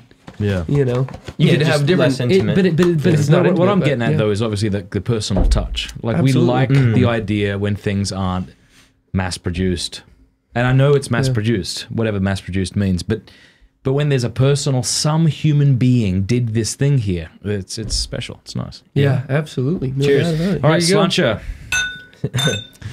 well, I don't know. Should we? Should we? Should we share our favorite my, uh, toast? My dear friend taught this to me many, many years ago, and then I passed it on to you. and I've been offending everybody with it. I love it. So we're, we're about to share our favorite toast. we'll say it together. Yeah, all three. Ready? Uh, but Ready? how are we going to do the little pause? A pause, and then we. We'll- we'll I'll give. I'll give We'll a nod. Yeah. Yeah. yeah, yeah, To the years I spent spent in the arms of another man's wife, my mother. mother. Have you heard that before? There's like that second where everyone's like, "You're a disgusting piece of crap." I had no idea. I love you did that for. Uh, was it Father uh, Boniface? Jason or Boniface? It was Father Boniface. Yeah, What did I do? you did that Oh, I toast for would've- him. That was the first time you were at my house that night, and the I've next day it. you I've- did it yeah. for him. To the and no, no, I'm so glad you had asked if you could use it. Uh, This is But- the best we've had all night. You night. like it? way. Yeah, this is really this is one of my favorites. Yeah. This goes amazingly well with now, ribeye. now here's what's interesting. Oh, I bet. Yeah. Yeah. Here's what's really interesting. Yeah. Jacob won't be able to tell the difference between that and uh, Echo, Echo Spring. He Are thinks he'll be able to. We're going to test it. All right, We're fair gonna enough. test it. All right. All right. Here he is. Do the best your I've worst. Yeah. do your worst, and I will do mine. But I just don't believe All right, anybody. I'm just I don't gonna go anybody who says they like you know what? I feel like I'm being protected this evening. Look at this. Saint John the Baptist never that's great. drank alcohol. I'm just gonna keep him close. This is not. This is not my favorite. I actually like the. the I, yeah, I like the the first That's two all we tried. Whiskey is just the bringer of joy and nothing more. all right, all right, Jacob. All right, here we go. Now we'll re- we'll just remember. Just a few seconds ago, Jacob said that this was the best he's had all night, and I'm now honored. we're about to compare Blanton's with Echo Spring, which is the eleven dollar. I'd like to revel in the honor for a little bit more though. that I could have brought the greatest bottle that Jacob's ever had. No, no, no. This evening. This evening. This evening. This evening. It was the best of the evening. This is the best yeah. bottle that you've brought to me that we've had most recently. Is that what you're saying? Yeah, Tonight. Yeah, yeah tonight. Yeah. All right, here we go. Here we- You know which is which? Don't you know? I don't know. I don't know. You I watch I him do. because Yeah, he's he's a He's a trickster, He's yeah. a tricky little fella. Not little. He's quite, Sneaky. he's quite massive. But Okay, that's the Echo uh, Springs. No, I'm just kidding. That's Echo Springs. yeah, you're right. You're right. yeah. Yeah. Yeah. The That's super But funny. you'll notice that the first sip was from Blanton's, and you thought it was an eleven dollar bottle. I'm right. Oh man, Yeah, I, I wonder if we should do this with like Coke, Coke Zero. it would be as embarrassing. Significant difference. I I don't know if you you don't maybe you remember this, but when I first moved to Steubenville, you and your wife were so kind to basically give us your house for three months while you were studying at Oxford, and I was making the long road trip up with all my kids, and you said there's a nice uh, whiskey in the decanter. Yeah, yeah. Um, there's something not like it's, also the presentation is so much. I mean, you Hmm. nice crystal decanter. It could have been the worst thing ever. It was the most delightful whiskey I've ever had after that long road trip. That I'd was say. Echo Springs. Actually, no, I I'm could tell. yeah. No, it was a Scotch. Oh yeah. That's what we're gonna do next. We're gonna do this Lagavulin versus bourbon because we all we all know Scotch and That's- Scotch yeah. and bourbon are just very different animals. Then you'll just get a million comments of like, yeah, I know if I hate, get that one wrong. Yeah, yeah, right. well, here's a question: when to when to ice and when not to ice? Uh, You know what? I, I don't. I just go based upon the movements of the a moment. You know. Yeah. Yeah, I think that's like the. I, I actually think that's like the question of when to have a cold beer versus a room temperature beer. You, I think you can pull out. Um, that depends on what country you're in. I think. Sure, sure, that's a factor. The as temperature well. of the room. as a as a taster, I guess I would say if if you're you know if you're trying to really taste the full complexities of something, you would have it room temperature over having it chilled. Um, if you yeah, and then other, uh, beyond that, it's a preference. You know, Yeah. if you want a nice cold drink in the summer or For, for me, Yeah. if it's a high alcohol content, I like to have a, a ice in it. Mm. But I also like the idea of just you know if it's a hot day. This is this is my thing too. If it's winter, I like a Scotch, Mm. I like a nice peaty Scotch. But if it's a hot day and on my on my front porch, I want to fill a glass up with as much ice as it can hold, and Yeah. then put a couple of fingers of bourbon in it. that goes to my the seasons of of of enjoying alcohol. I think uh, I I would agree. I think a nice smoky Scotch in the winter it reminds me of a warm wood stove, you know, or a hot fire. Uh, and then a, a Godfather in the summer on Yeah, ice, mostly ice. so good. A little bit of scotch with like some amaretto to sweeten it. Yeah. Oh, now, that is yeah. nice. people talk about you know you put a teaspoon of water in to open it up. I've what heard does that. that. What does that mean? So they they will drop a, a little drop of water. They'd say it opens up the bouquet of like smells and flavor. Um, Yeah. I don't know. I, I would be lying if I said I've ever noticed a difference. I used to try to do that, and then I just stopped. I just wouldn't bother dripping a drop of water in. But Yeah. I, they say it opens it up, kind of like how you would aerate a wine. You know, you or you'd put it in a decanter Yeah, and then yeah, let yeah. it aerate. Uh, yeah, yeah. I'm going to do my ad read. Sweet. Exodus 90 is a 90 day ascetical program for men where you won't drink any of this beautiful bourbon or scotch or wine as Rob sets himself on fire. And on January 17th, thousands of men around the world, maybe uh, it might even be like upwards of 10,000, I think, Wow. men around the world. That's just a guess. I have no empirical data to back that up uh, are going to be starting uh, on the 17th of January uh, all the way through to Easter Sunday. Uh, and I did it a couple of years ago, and it was bloody hard, but it was it was also good. Either of you ever done Exodus 90? You can sit there. I can. They can I still have, see. You yeah. don't have to turn around. Yeah. Did you do the whole 90 days? Yes. Yeah. Exodus90.com slash Matt. There's a link in the description below. Check it out.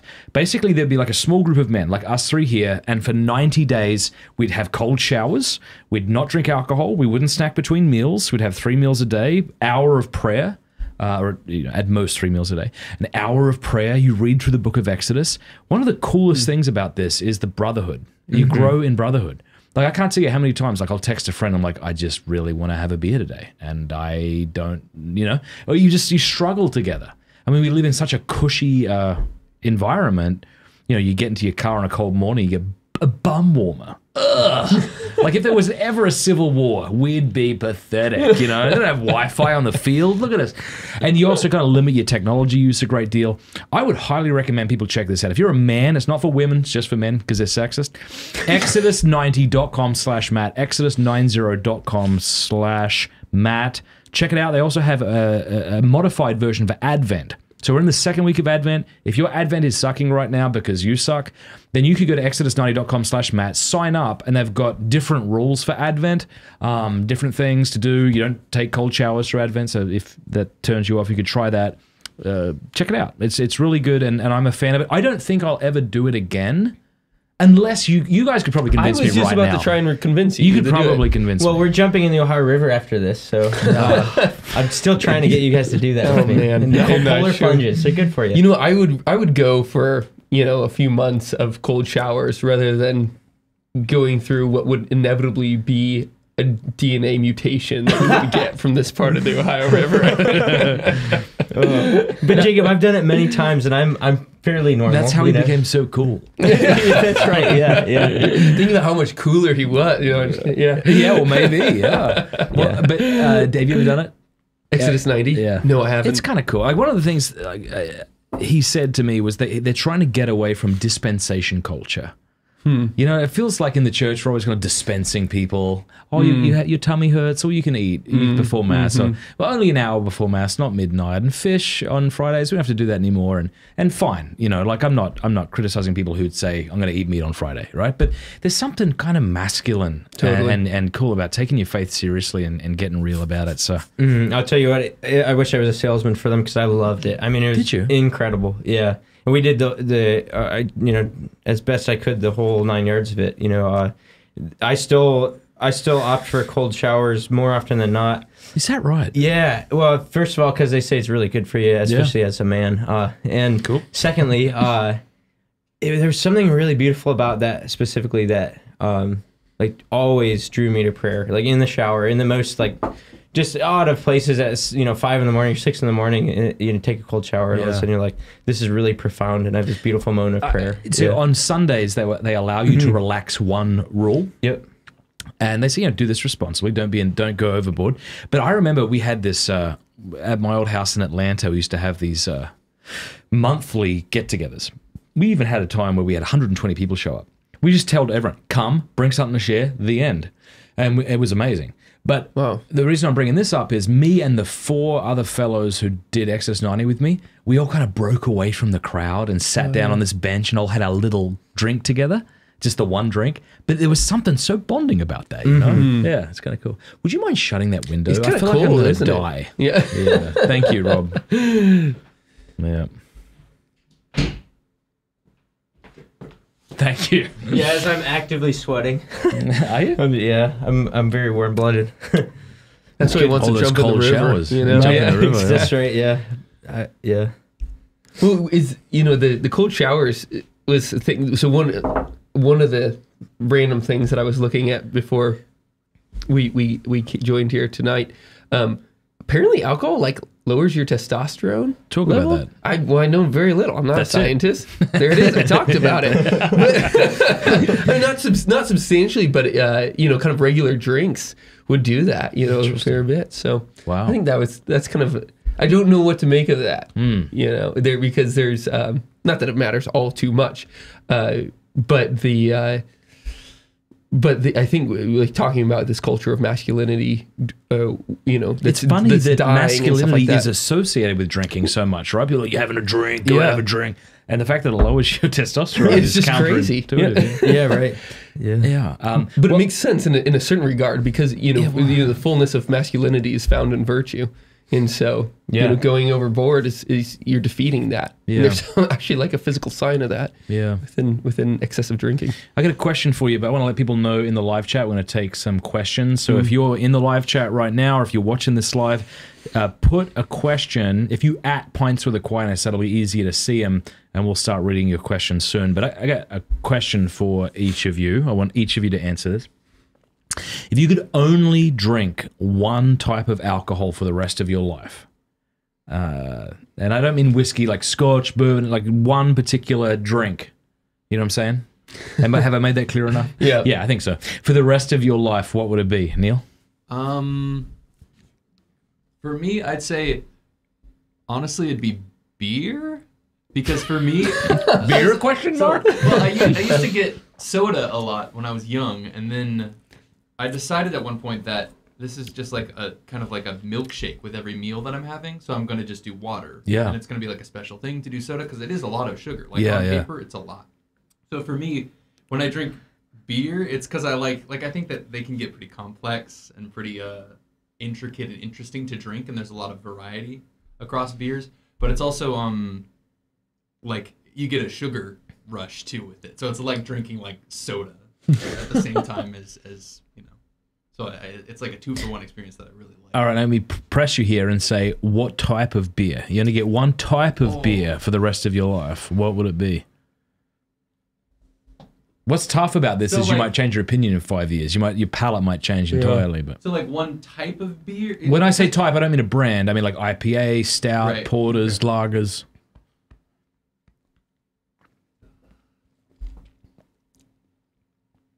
I think like a like a uh, I want to say like an ale, not an IPA, not like the like super hoppy ones. Mm-hmm. But I don't love stouts as much. You know, it depends on the day, depends on the season. Yeah. Um, but I think that like just a, a sweet ale, like a, I don't know. I've had some that are basically just fancy like blue ribbons that I really like, and I think of that as like the quintessential ale ale. Yeah, so yeah. Whatever that is. okay, Yeah. sweet. Rob, what about you? Yeah, this is easy for me. I would say, uh, and I'll give a specific show. I'd say IPAs. Um, not because I'm a huge fan of them necessarily over other things, but for the longest time now, uh, my dad and I have been splitting. We'll go and we'll split one and just one in, in the night, and we'll describe it to each other and really enjoy it together. I love your relationship with your dad, by the way. It's yeah, so I- cool. I, do too. I'm so blessed. Yeah, Yeah. I'm gonna I'm gonna tear up. You know, uh, it we've been making beers together now. Mostly, well, so far, IPAs, I guess. Yeah, and we grow hops together and things like that. And it's just like it's such a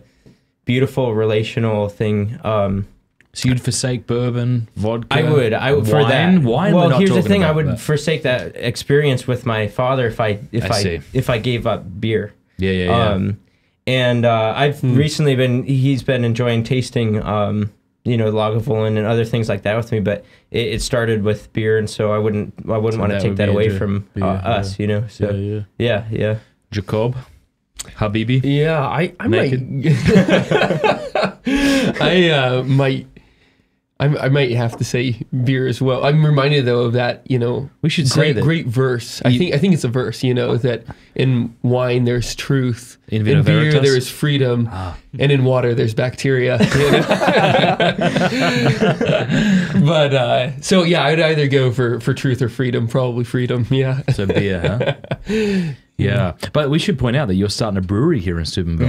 I'm And excited. if people about are watching right now and they're working from home and they're looking for a good Catholic community to move to, they could move here and uh, tell us a little bit about your brewery. This isn't meant to be an ad, but I just thought I'd tell you, it's cool that you're starting one. Well, we're we are starting one. It's just on the other side of the street that we're on. Um, it's uh, it's it's going to be kind of a uh, Belgian Trappist style. We're going to be able to have a real place for, for people to, to gather. The Nelson's across the street was the first first place that we really had in town, and um, we're trying to actively give people productive property. Just have something a company that they call their own.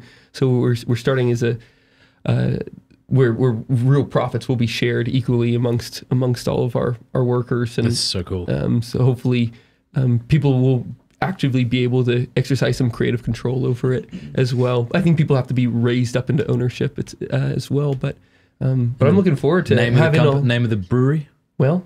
Oh, it's- it's know- a we per- don't- no, no, no, no, no, no. It's a perfect, it's perfect time. It's, it's we're gonna name it uh, Ambrose Brewing Company. Yeah. Tomorrow is his feast day. Nice. Um, it's uh, our, our main brewer. Our, uh, has a has a great devotion to, to Saint Ambrose. My beloved godfather died on Saint Ambrose's feast day, um, so pray for Walter tomorrow if you Yeah. would. And uh, we're really excited to have all the debates from Pints with Aquinas there. And, And you're not going to have great. televisions too, Oh, of course not. which is just beautiful. We're creating a space where people can sit and be together. Large bookshelves, you know. Oh, I'm you so know, it's proud of you, man. Get I your can't wait. Doppelbock. It's gonna be great. Now, if I was to answer that question, yeah, the first thing that came to my mind was wine, like a nice Yeah. Pinot Noir. I like the kind of light red. Yeah. There's something nice about wine. You can enjoy quite a bit of it without, I think, feeling the effects. Like you could have a couple of glasses. Like back when my wife was healthier, we'd split a whole bottle, and neither of us would feel, you Yeah. know, too bad. Yeah. We just feel great. You feel great. so I like wine. Why- There's something beautiful about wine. Yeah, if I couldn't But it's choose, hard to say If because, like in a summer, beer. like a summer day, what am I going to do? Have a glass of wine like a loser, you know? but wine is nice on a summer day. I don't know, man. I th- I'm going to say wine. Wow, I just shocked myself. I would say wine if you would allow me any kind of red. not even white. You know, because I don't like white. well, You know, by your own like wine. criteria, you do have to pick one. I do. I'd say Yeah. Pinot Noir right now. Okay. Would you? Yeah. Yeah. Yeah. That's a Yeah, great I'm over the cab. They're too gritty, too dark, too Yeah. thick. Yeah. You can have it warm or cold too. Did you know my warm or cold? What Pinot Noir? I'm Yeah. saying you could. Yeah. Yeah, that's right. You so you could. could have in summer or winter. Yeah, there you go. I'm going to say wine. That's crazy. um, you know, my wife and I were in Australia a couple of years ago and we were flying to New Zealand. And we had a Sauvignon Blanc. Mm-hmm. And I hate white wine. Like, I've never liked it. It just kind of, I don't know. I've heard some people describe it as Yes. the wine for people who don't like wine. Yeah. Yeah. but so they, they gave us one of these Sauvignon Blancs. And I sat there and I just, I was on a plane. And my wife and I were like, I have never tasted anything like this. It was the most delicious, floral, complex, refreshing drink. Wow. What Yeah. airlines, man. Yeah, New Zealand uh, Air or whatever they are. But um, yeah, so that's so if, if you're out there and you like wine and you, you're open to white, try a Sauvignon Blanc from New Zealand because they're golly delicious. Cool. Go New Zealand. You know, I think just another. thought- I'm just kind of thinking along here with why Catholics like alcohol so much, and I think it has to do with something like we like the joys worth suffering for. Uh, for like it, it takes something like the the killing of grapes, the killing of grain that actually makes something reveal its true flavor, and uh, you know, and, and, and rather than just like a chemical cocktail of a soda or um, or or or even just juicing something. Um, there is, uh, I, th- I think there's, and, and there's something also obviously fitting with that with wine, and and Christ's selection to s- see that it's it's symbolic, um, insofar as it in its in itself kind of hints at what it is, and uh, insofar it's as it's his sacrificial drink, uh, too. That it has been crushed, it has been tried, it has been, you know, has suffered in a sense. know, well. Christ's first miracle was to make alcohol. I don't say that flippantly. That is actually just what happened factually. Mm-hmm. And it, it- the the response that you get from some Protestants, obviously many Protestants drink beer, but there's there's a fringe minority of people there and who would seek to demonize it. It, it's like I don't, all of your answers are just so unconvincing. Like I even I even hear people try to say like, well, grape juice, it's what it was, or something silly like that. But it wasn't. That's not even no, true. course not. Still No, it's just- percentage. yeah. But but you you quoted Ecclesiasticus, didn't Sirach. you? Sirach. Which one is isn't Sirach sometimes called? I think you got Ecclesiasticus and a, and a Sirach, but Well, now I'm questioning all my, my the- well, the- Catholic self. Uh, the reason I say this is because Aquinas has sed contra. He quotes two scripture verses to show that one can drink alcohol. The first is, and he doesn't No, quote. it is Ecclesiasticus. You're right. Yeah, he, he Sirach, doesn't. Ecclesiasticus. He doesn't um, quote. Well, so Aquinas quotes what you just quoted. I don't know if you knew that. Yeah, yeah. I went to chapter 31 Aquinas because quoted- of that. Yeah. Yeah, Aquinas quoted Jacob. Yeah. but like he doesn't quote John 2, which is interesting. That never comes into discussion. It could have, but it doesn't. But his sed contra is like, did I say something wrong there? Because it wasn't supposed to be funny. The first thing he quotes is Timothy. Like, like Paul suggests drinking wine. Yeah. You know, he, so he, the sed contra is the, the, the, so to somebody who would say you should never drink alcohol, it's always a sin, shouldn't, yeah. The apostle says, do not still drink water, but use a little wine for thy stomach's sake and thy frequent infirmities. And it is written, Ecclesiasticus, wine drunken with moderation is the joy of the soul and the heart. Yeah. But to that point I made earlier, the reason it's a joy to the soul and the heart isn't because it tastes so good, it's because of the physiological effect it has. Mm-hmm. Absolutely. Right? I think I think it can be both. At least personally, my Both, experience is both. As I shared, like with what my experience with my father is, is like you you could take away the beer and we could enjoy something else together. Like we do, we'll enjoy a cheese, a good cheese or sardines, and that's still. Gross, man. Cheese and Oh, I love sardines. Yeah, that and oysters and yeah, all of it. Uh, Cheese and sardines together? uh, maybe just said 'em if it's back back. I Limburger, yeah, this. Limburger cheese on yeah. with some onion. Yeah, Oh, that does Actually, sound we do in a little bit of Oh, salt. oh. Oh, it smells like horse manure, but it tastes amazing. Hey, spe- speaking of horse manure, you told me of a drink that you wanted me to smell. Yeah. Okay. So this Good question for piling I up believe at point. 2020. Oh, we have a couple questions. Okay. Couple of questions. Well, everyone was saying everyone. let me turn my mic on. Everyone was saying what their uh, drink Favorite? choice Oh, what, what were they saying? Uh, just all kinds of things. We have wine. Um, cider was an interesting answer. Cider. Oh. People have tried to like revivify cider in the wake of gluten freeness. And they Craze. have failed. I think that failed. Yeah. They did, They've really yeah. tried to make it look masculine. They'll have these little stories on the back of cider bottles that say Angry this is- orchard. Yeah, yeah, Apple wine is great though. yeah. Yeah. My friends have been to a cidery, which is like a, a brewery, but they're all cider. Your friend did that? Yeah. Did they do that? Yeah. It's like, yeah. Somebody said moonshine, which I don't know if I believe them, but That's a it depends. just a couple answers. There's not. Yeah, So you know what? wine. Another thing th- that just kind of because we're we're bringing out a lot of scripture to defend wine. Yeah. And and, and actually, this is no no um, opponent of it. But do you remember that part in, in Isaiah 49 when when God says that He will make His enemies drunk? No, I don't remember that. Well, there's a part in Isaiah, I think it's chapter 49, where he Where says he- he, will make his enemies drunk. and, uh, you know, and, and it is, he's saying, like, drunk on blood, you know, trying to coax them into wars that they will not win. And I think there is something with the, um, you know, the, the false valiance, the, the like the faux machismo that you get from drinking, uh, that, that, like leads you into places you ought not be into into wars that you will not win. Not only because you have a low testosterone apparently because you've been drinking but uh but there is the the you know the false sense of prudence. And and even like in in that uh, chapter of ecclesiasticus uh, that st thomas is citing it's you know commands us not to be valiant with wine which is another you know it's nothing something to trying uh, like coax your machismo with. Uh, you know, it's nothing. It's nothing to make a competitive, um, Yeah. you know, activity. Uh, even though it is something you you do with your dudes. Yeah. You know. Yeah, yeah. There's maybe a little bit of that too. Back to your question about youth, you know, and oh, we'll go get drunk together. You know, yeah, yeah, of that faux I have the verse machismo. here to read too. You got uh, what? Isaiah 49, 26. Ah, I will make Catholic your Jamie. oppressors eat their own flesh, they will be drunk on their own blood as with wine. Then all mankind will know that I, the Lord, am your Savior, your Yeah, Redeemer, that's one. mighty one. Mm. Cool. Thank You're good, Jacob.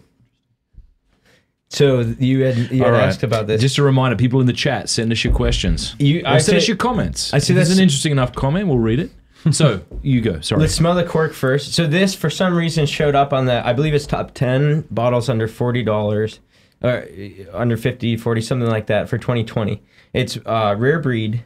It's from Wild Turkey, and it's a rye. I've never tasted a rye or smelled a rye that's anything remotely like this. And I took it back to the store and I told them, "Smell this and get me another one." 'Cause you thought it was that because I thought it was skunked. You smell smell the cork. well, yeah. And tell me what it smells like. Oh, What does it smell like to Really? you? I love skunk. Oh, Let's well, do don't it. say yet. Let Don't him say smell it. it, and then okay. Just show us your facial expression. If Well, you can skunk, s- yeah. skunked, not not like skunk. Skunked, yeah, like bad. I like that. Really? So you might enjoy it. That there's a distinctness to this that's so unique. Yeah, it's I've like a- never ever smelled. What, a, what a would you whiskey. say it, ta it smells like? I. Do you want to say first? Well, I was thinking kind of bad cabbage. Yeah, I think Yeah. it smells like a musty basement or like a forty year Yeah. old forty year old like velvet suit musty. that was never washed and worn every day. That's so specific. Soccer I love socks. it. Yeah, yeah, yeah. So, well, yeah, like soccer socks in the back of your car in the summertime. Yeah, if you don't mind, pour a little bit in there. I and great if you enjoy this, I'll send it home with you because I don't. Uh, At all. But you know, Wild Turkey does some. Yeah, I They do great do stuff. some great stuff. to be honest, there. the same rye, the same line, this rare breed, That's that's the non rye yeah. is amazing. Yeah. it's great for the I, I like rye, and because I get like a more of a peppery taste mm-hmm. from it. Is that? Mm-hmm. Am I right? in thinking- Generally, yeah, along those lines, yeah, yeah. I like a high rye bourbon. yeah. Okay, I like rye because I love rye. But I also bread. can't tell the difference between any bourbon. So don't believe tell- what I just said. tell- Here wait, we go. we should blind this because you'll know the difference. Ooh, you get that right in the nasal, right in the sinuses. I, I, Yeah, you can try this if you. Yeah. yeah, I'll, I'll do that. Thanks. I think I want That to gets have. right up here.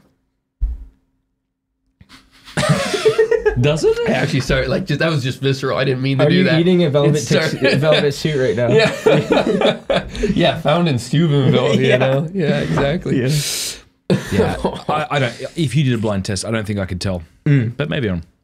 I don't know. Maybe I'm you- but you maybe enjoy I'm that. so committed to the theory at this point that I just it. want it to be. Oh there. no, I think you've proved it to us. I have. You know? yeah, you're welcome, everybody. Yeah. And this is good news. This is what I said to Rocco. I tried saying this Well, to you, Rocco. you haven't gotten him. no, I can't get Yeah, him. yeah. But I think I could. Yeah, well, we could try to get you. You could try.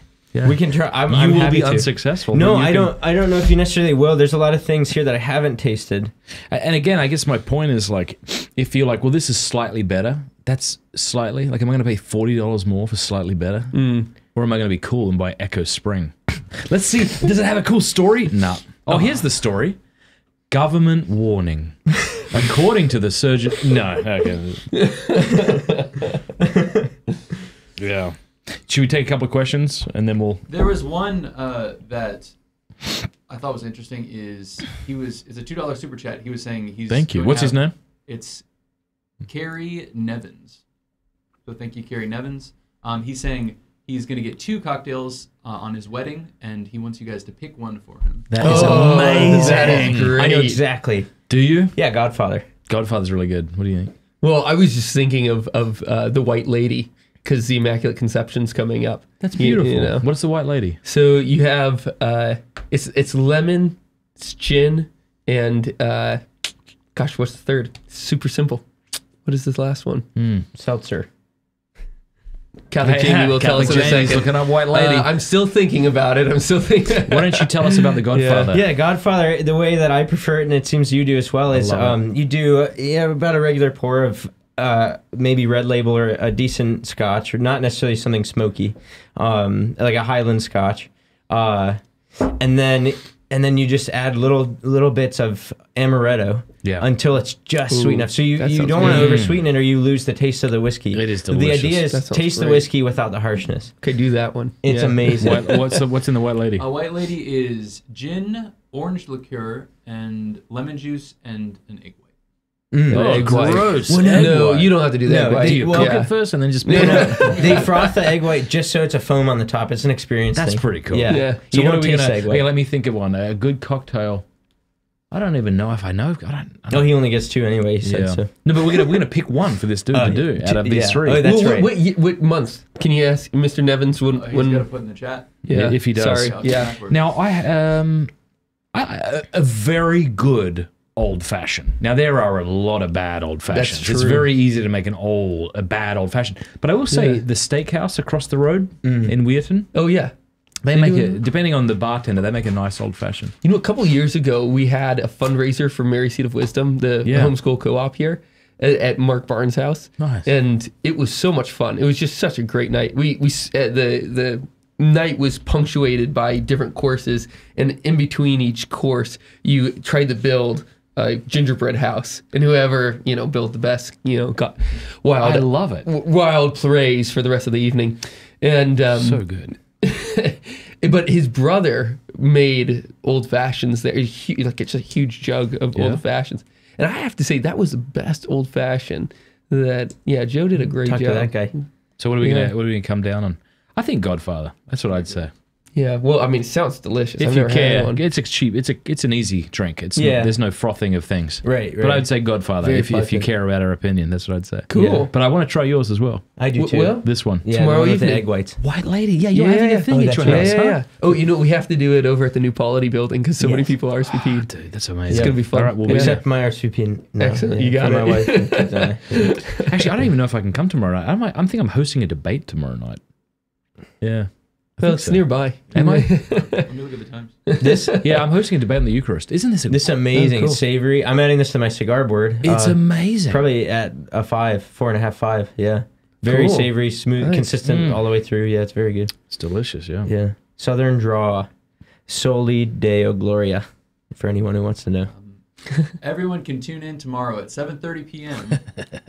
Come for the first Dr. two hours of the party. Evans and Dr. Brett. Stone. Yeah, so we got two folks, two two PhDs who are going to be discussing the Eucharist. One bloke from Canada, he's a diocesan theologian, and he wrote a good book on transubstantiation. Oh, and so cool. they're going to. It won't be an official debate. It'll be more of an adversarial, pleasant discussion, goodwill discussion. So tune in for that if you want. Man, What other questions we got? I'm kind of curious if there was any. Um, well, I wanted to add on to the question of which cocktail, just a general opinion of cocktails, because I don't know if I'd say this anymore, but I used to have the opinion that it was kind of like for coffee drinkers, there's the people who drink like black coffee and are interested in finding all the flavors about Yeah. it. But then there's, you know, people who get the, all the different flavors of drinks, like the pumpkin spice so and so or one or two. Right. This. Mm. And not to like look down on that, but it's like if I'm looking for a really, really good roast, the person who's interested in the syrup drinks, like that's a different experience. So they're not going to have much input. And then I kind of thought the same thing for cocktails, but then I don't know, I've had some really good cocktails in. That's a good then and now, point. so I don't know. So to just to sort of rephrase what you're saying here, like just like when I go to a coffee shop and my wife asks for like an almond milk, like decaf, uh, honey, that kind of thing, and I'm like, just want a black coffee. It it seems like it's more respectful to desire like the essence of it. Like, what is this flavor? You know, it's like a more of a refined thing. And so you're kind of like making that analogy where you're kind of asking, are cocktails just like the frappuccinos of the alcohol world? But you're saying, but you're realizing that's not the case. yeah, and also Yeah. to not look down on frappuccinos because They're you know, it's the a- bomb. They're good too. They- yeah, they have their place. But, yeah. Yeah, Yeah. maybe it depends. Yeah, what do you think though? Because I mean, when uh, when you have a cocktail, are you is it is it very important? I guess it depends on how much is in it. But are you, is it very important that the liquor's good? Well, I mean, if you're just going for a vodka martini or something like that, or gin martini, you're gonna want some nice vodka or nice gin because there's just very little else. That's a good point. Yeah. Yeah, it's it's funny you mentioned that because I was gonna say if I didn't say Godfather, I would say like a dirty martini. I love Yeah. yeah, Oh my which gosh. I can't replicate a good one. We we We, tried. we're gonna tell this Really? story. Oh my gosh, I had yeah. Rob over the other night, and we're like, "Dude, let's make dirty martinis." and so uh, we got some, uh, we got vodka and gin, and then I was like, "And I've got these beautiful olives, and they were green olives from Fed- from Frederico's. Oh yeah. great shop. Oh my god, great shop. It's just extraordinary Ah. shop. and it had blue cheese in the middle. Get and their I, trenne. Their trenne. What's It's that? amazing. It's a type of pasta cut. You know, it's amazing. Never had anything better in my so life. I, me being silly and not having much experience with this, just assumed that like oil, like olive oil, like uh, juice was the same thing as whatever came with the with the green olive. So I'm tipping this in, and basically it was like drinking vodka and olive oil. So that's the problem is It was these olives, the disgusting. olives came in oil, not in olive juice. Yeah. And so we try to shake the thing up, and it's like it looks like a dressing that you didn't quite like. Conge- you know, it's like Can you just take a kind of a, a pestle mortar and just kind of no. get it out I mean, there? it what was do you have to do it to was get- like you know the the liquor slid down the throat, and then the oil stuck Oh, in the oh, it was mouth. so that's gross. It was so just nasty. it was a heavy layer. and I even coating. went to the Welkers and I got a little shaker thing, and I Yeah. was like really But excited. imagine like blue cheese soaked oil. It was and it stuck in your mouth. it wasn't great. We failed at it that was one. bad. Yeah. Yeah, yeah, yeah. Uh, My last vo- vodka, dirty vodka martini, I was out with my buddy Roy when I was back in England a few weeks ago. And oh my gosh, you know, we sat down and we both looked at one another. And we, you know, like he said, you know what I'm feeling? I said, what? And he goes, dirty vodka martini. That is exactly what I had in mind. It was awesome. It was just such a good The, time. the little I can Yeah. tell from the limited experience I've had with dirty martinis is I much prefer vodka than a gin. mm, I, I prefer the opposite. Dude, you? Why is that? I love the herbal taste of gin. You know, you I like do too, pine- just not with the green olive taste. Hmm. Yeah, I think it depends on how you've had it made, maybe, t- or how I've had That's it made. right. And I, yeah, I've never really. Uh, So I've had it made. The best, the best dirty martini I've ever had was a gin martini. I, I gotta, I gotta admit, I do like the more kind of girly martinis, like the kind of like coffee martinis or the lemon martinis. Espresso, yeah. Oof, I- yeah, espresso. You Oh, put I a like, cucumber in I, it. yeah, I do yeah, like I can't that. stand yeah, that. yeah, yeah. A good margarita though, on a beach, a good margarita. I've never been able to do it. I Really? don't know. With yeah, the I don't big know if I've chunky had a good salt one. on the rim. Oh, I it's love that, delicious. yeah. But I will say, like the older I've got, and the more I've come to appreciate mezcal. Oh, A good mezcal. Have you ever had a mezcal? uh, sure. Mezcal is like a smoky tequila. it's yeah, like okay. it's like Lagavulin is to Glenfiddich. cool. It's it's, Gotcha. it's it's delicious. It's supposed to be like it was supposed to be like what tequila. It was like the cowboy tequila. What tequila came from? I guess mezcal. okay. Um, or mezcal, however you say it. I don't know. And someone someone taught me this. It was a bartender. I thought it was fascinating. They said when it comes to bourbons, the question is how long has it been aged in the barrel? Like after you've made it. He said with mezcal and tequila, the question isn't about after. The question is about before. Like how old is the agave plant that you're wow. using? Isn't Wow. that fascinating? Yeah. That's cool. So, but I've found uh, I would much prefer agave. Sorry, not agave. A ton of lime juice, mezcal on the rocks is delicious. And I'd prefer that to any margarita at this point. It's yeah, I'll, I'll make you one. Awesome. That So- sounds great. A dear friend of mine introduced me to tequilas last summer. Uh, we were building his deck, and it was hot days out in the evenings, like building this deck. And we'd sit. the The sun would go down, the night would cool, and we'd sit on this like nice, cool, fresh smelling, you know, treated wood, uh, looking up at the stars and sipping the- just a little bit of this. Uh, it was it's called Trace. Um, It's this black bottle with a gold top. It looks really nice. It tastes oaky and cedar and it, and dirt. It tastes like dirt, you know. The, and it, yeah, I I had never tasted a tequila by itself before. I always thought you don't do that. Yeah. Uh, but it's amazing. Well, that's right because you grow up and the idea is like lemon juice, shoot, yeah, which is like an abuse of alcohol, really. Like Yeah, it's not yeah. actually appreciating it. Right. Yeah, you know the the, the priest that married my wife and me. It was, it was the night before our wedding, the evening before, and it was you know after our kind of rehearsal dinner. Like all, a whole bunch of family came over for for uh, for some drinks and stuff, and we filled up my my wife's family entire canoe with just a ton of beers and whatever else, just a variety Where'd packs you get the canoe from? Was it a gift? Was it a? No, it's just they have a canoe. You know, they would go out. They're they're kind of outdoorsy and all that, and uh, and so my so the priest kind of leans over and, he grabs something. He goes, "What's this?" And my uh, my cousin, who's total frat guy, everything, you know, he, he looks over. He's like, "Oh yeah, that's actually like hard club soda. You can't even taste the alcohol. It's awesome." and the priest, he's a pretty analytical guy, and he goes, "You know, actually, I'm not sure if I would like that. No, I don't think I would. In fact, the alcohol taste is the only reason I drink, so that would defeat the entire purpose. he was like him slowly reasoning there. It was awesome. And It's totally defeated this guy who was just pounding shots for the sake of pounding shots. Yeah. It was awesome. that's incredible. The the mezcal bottles that we get, mezcal, uh, they have a worm in the, an agave worm Yeah. in the bottom of it. And our house rule is whoever is you know to draw the last of the bottle has to eat the worm. Nice. And you have to eat it. You have to chew it ten times before you swallow it down, and you can't chase it. That's See, that's the rule. That, I don't think that would bother me at all. okay, yeah. Come, Wouldn't that just taste like? I'll mas- save the worm for you. Maybe it would. Remember when he said? um, but what does it taste like? It just tastes like vodka, and it's The wor- yeah, the worm's saturated, but it's Is it the idea it's of it? squ- it's squishy and, and it's So, a little dirty. From yeah. it, you another Give me that drink. Buffalo over Yeah. there, would you? From Yeah. oh, you like the buffalo, yeah. the musk, musty. going for a little more of this. And I This got to is do a blind taste on you before we wrap You up. do. So let's do that instead. Let's do that instead. uh, we gotta we can take our time here, but Yeah, yeah. Um, where, being from a What- what is this stuff? Sorry. Oh no. You Oh, so- keep talking. You yeah, keep talking. uh, Catholic Jamie bought that for me, Oh, Catholic Jamie, you're the Yeah, man. that's the best one I've had in uh, Georgia. out of the ones- and yeah, he can't tell the difference between Echo Springs and this one. should we do a should we do a test on you to see? Yeah, I'm up for it. I'm up for it.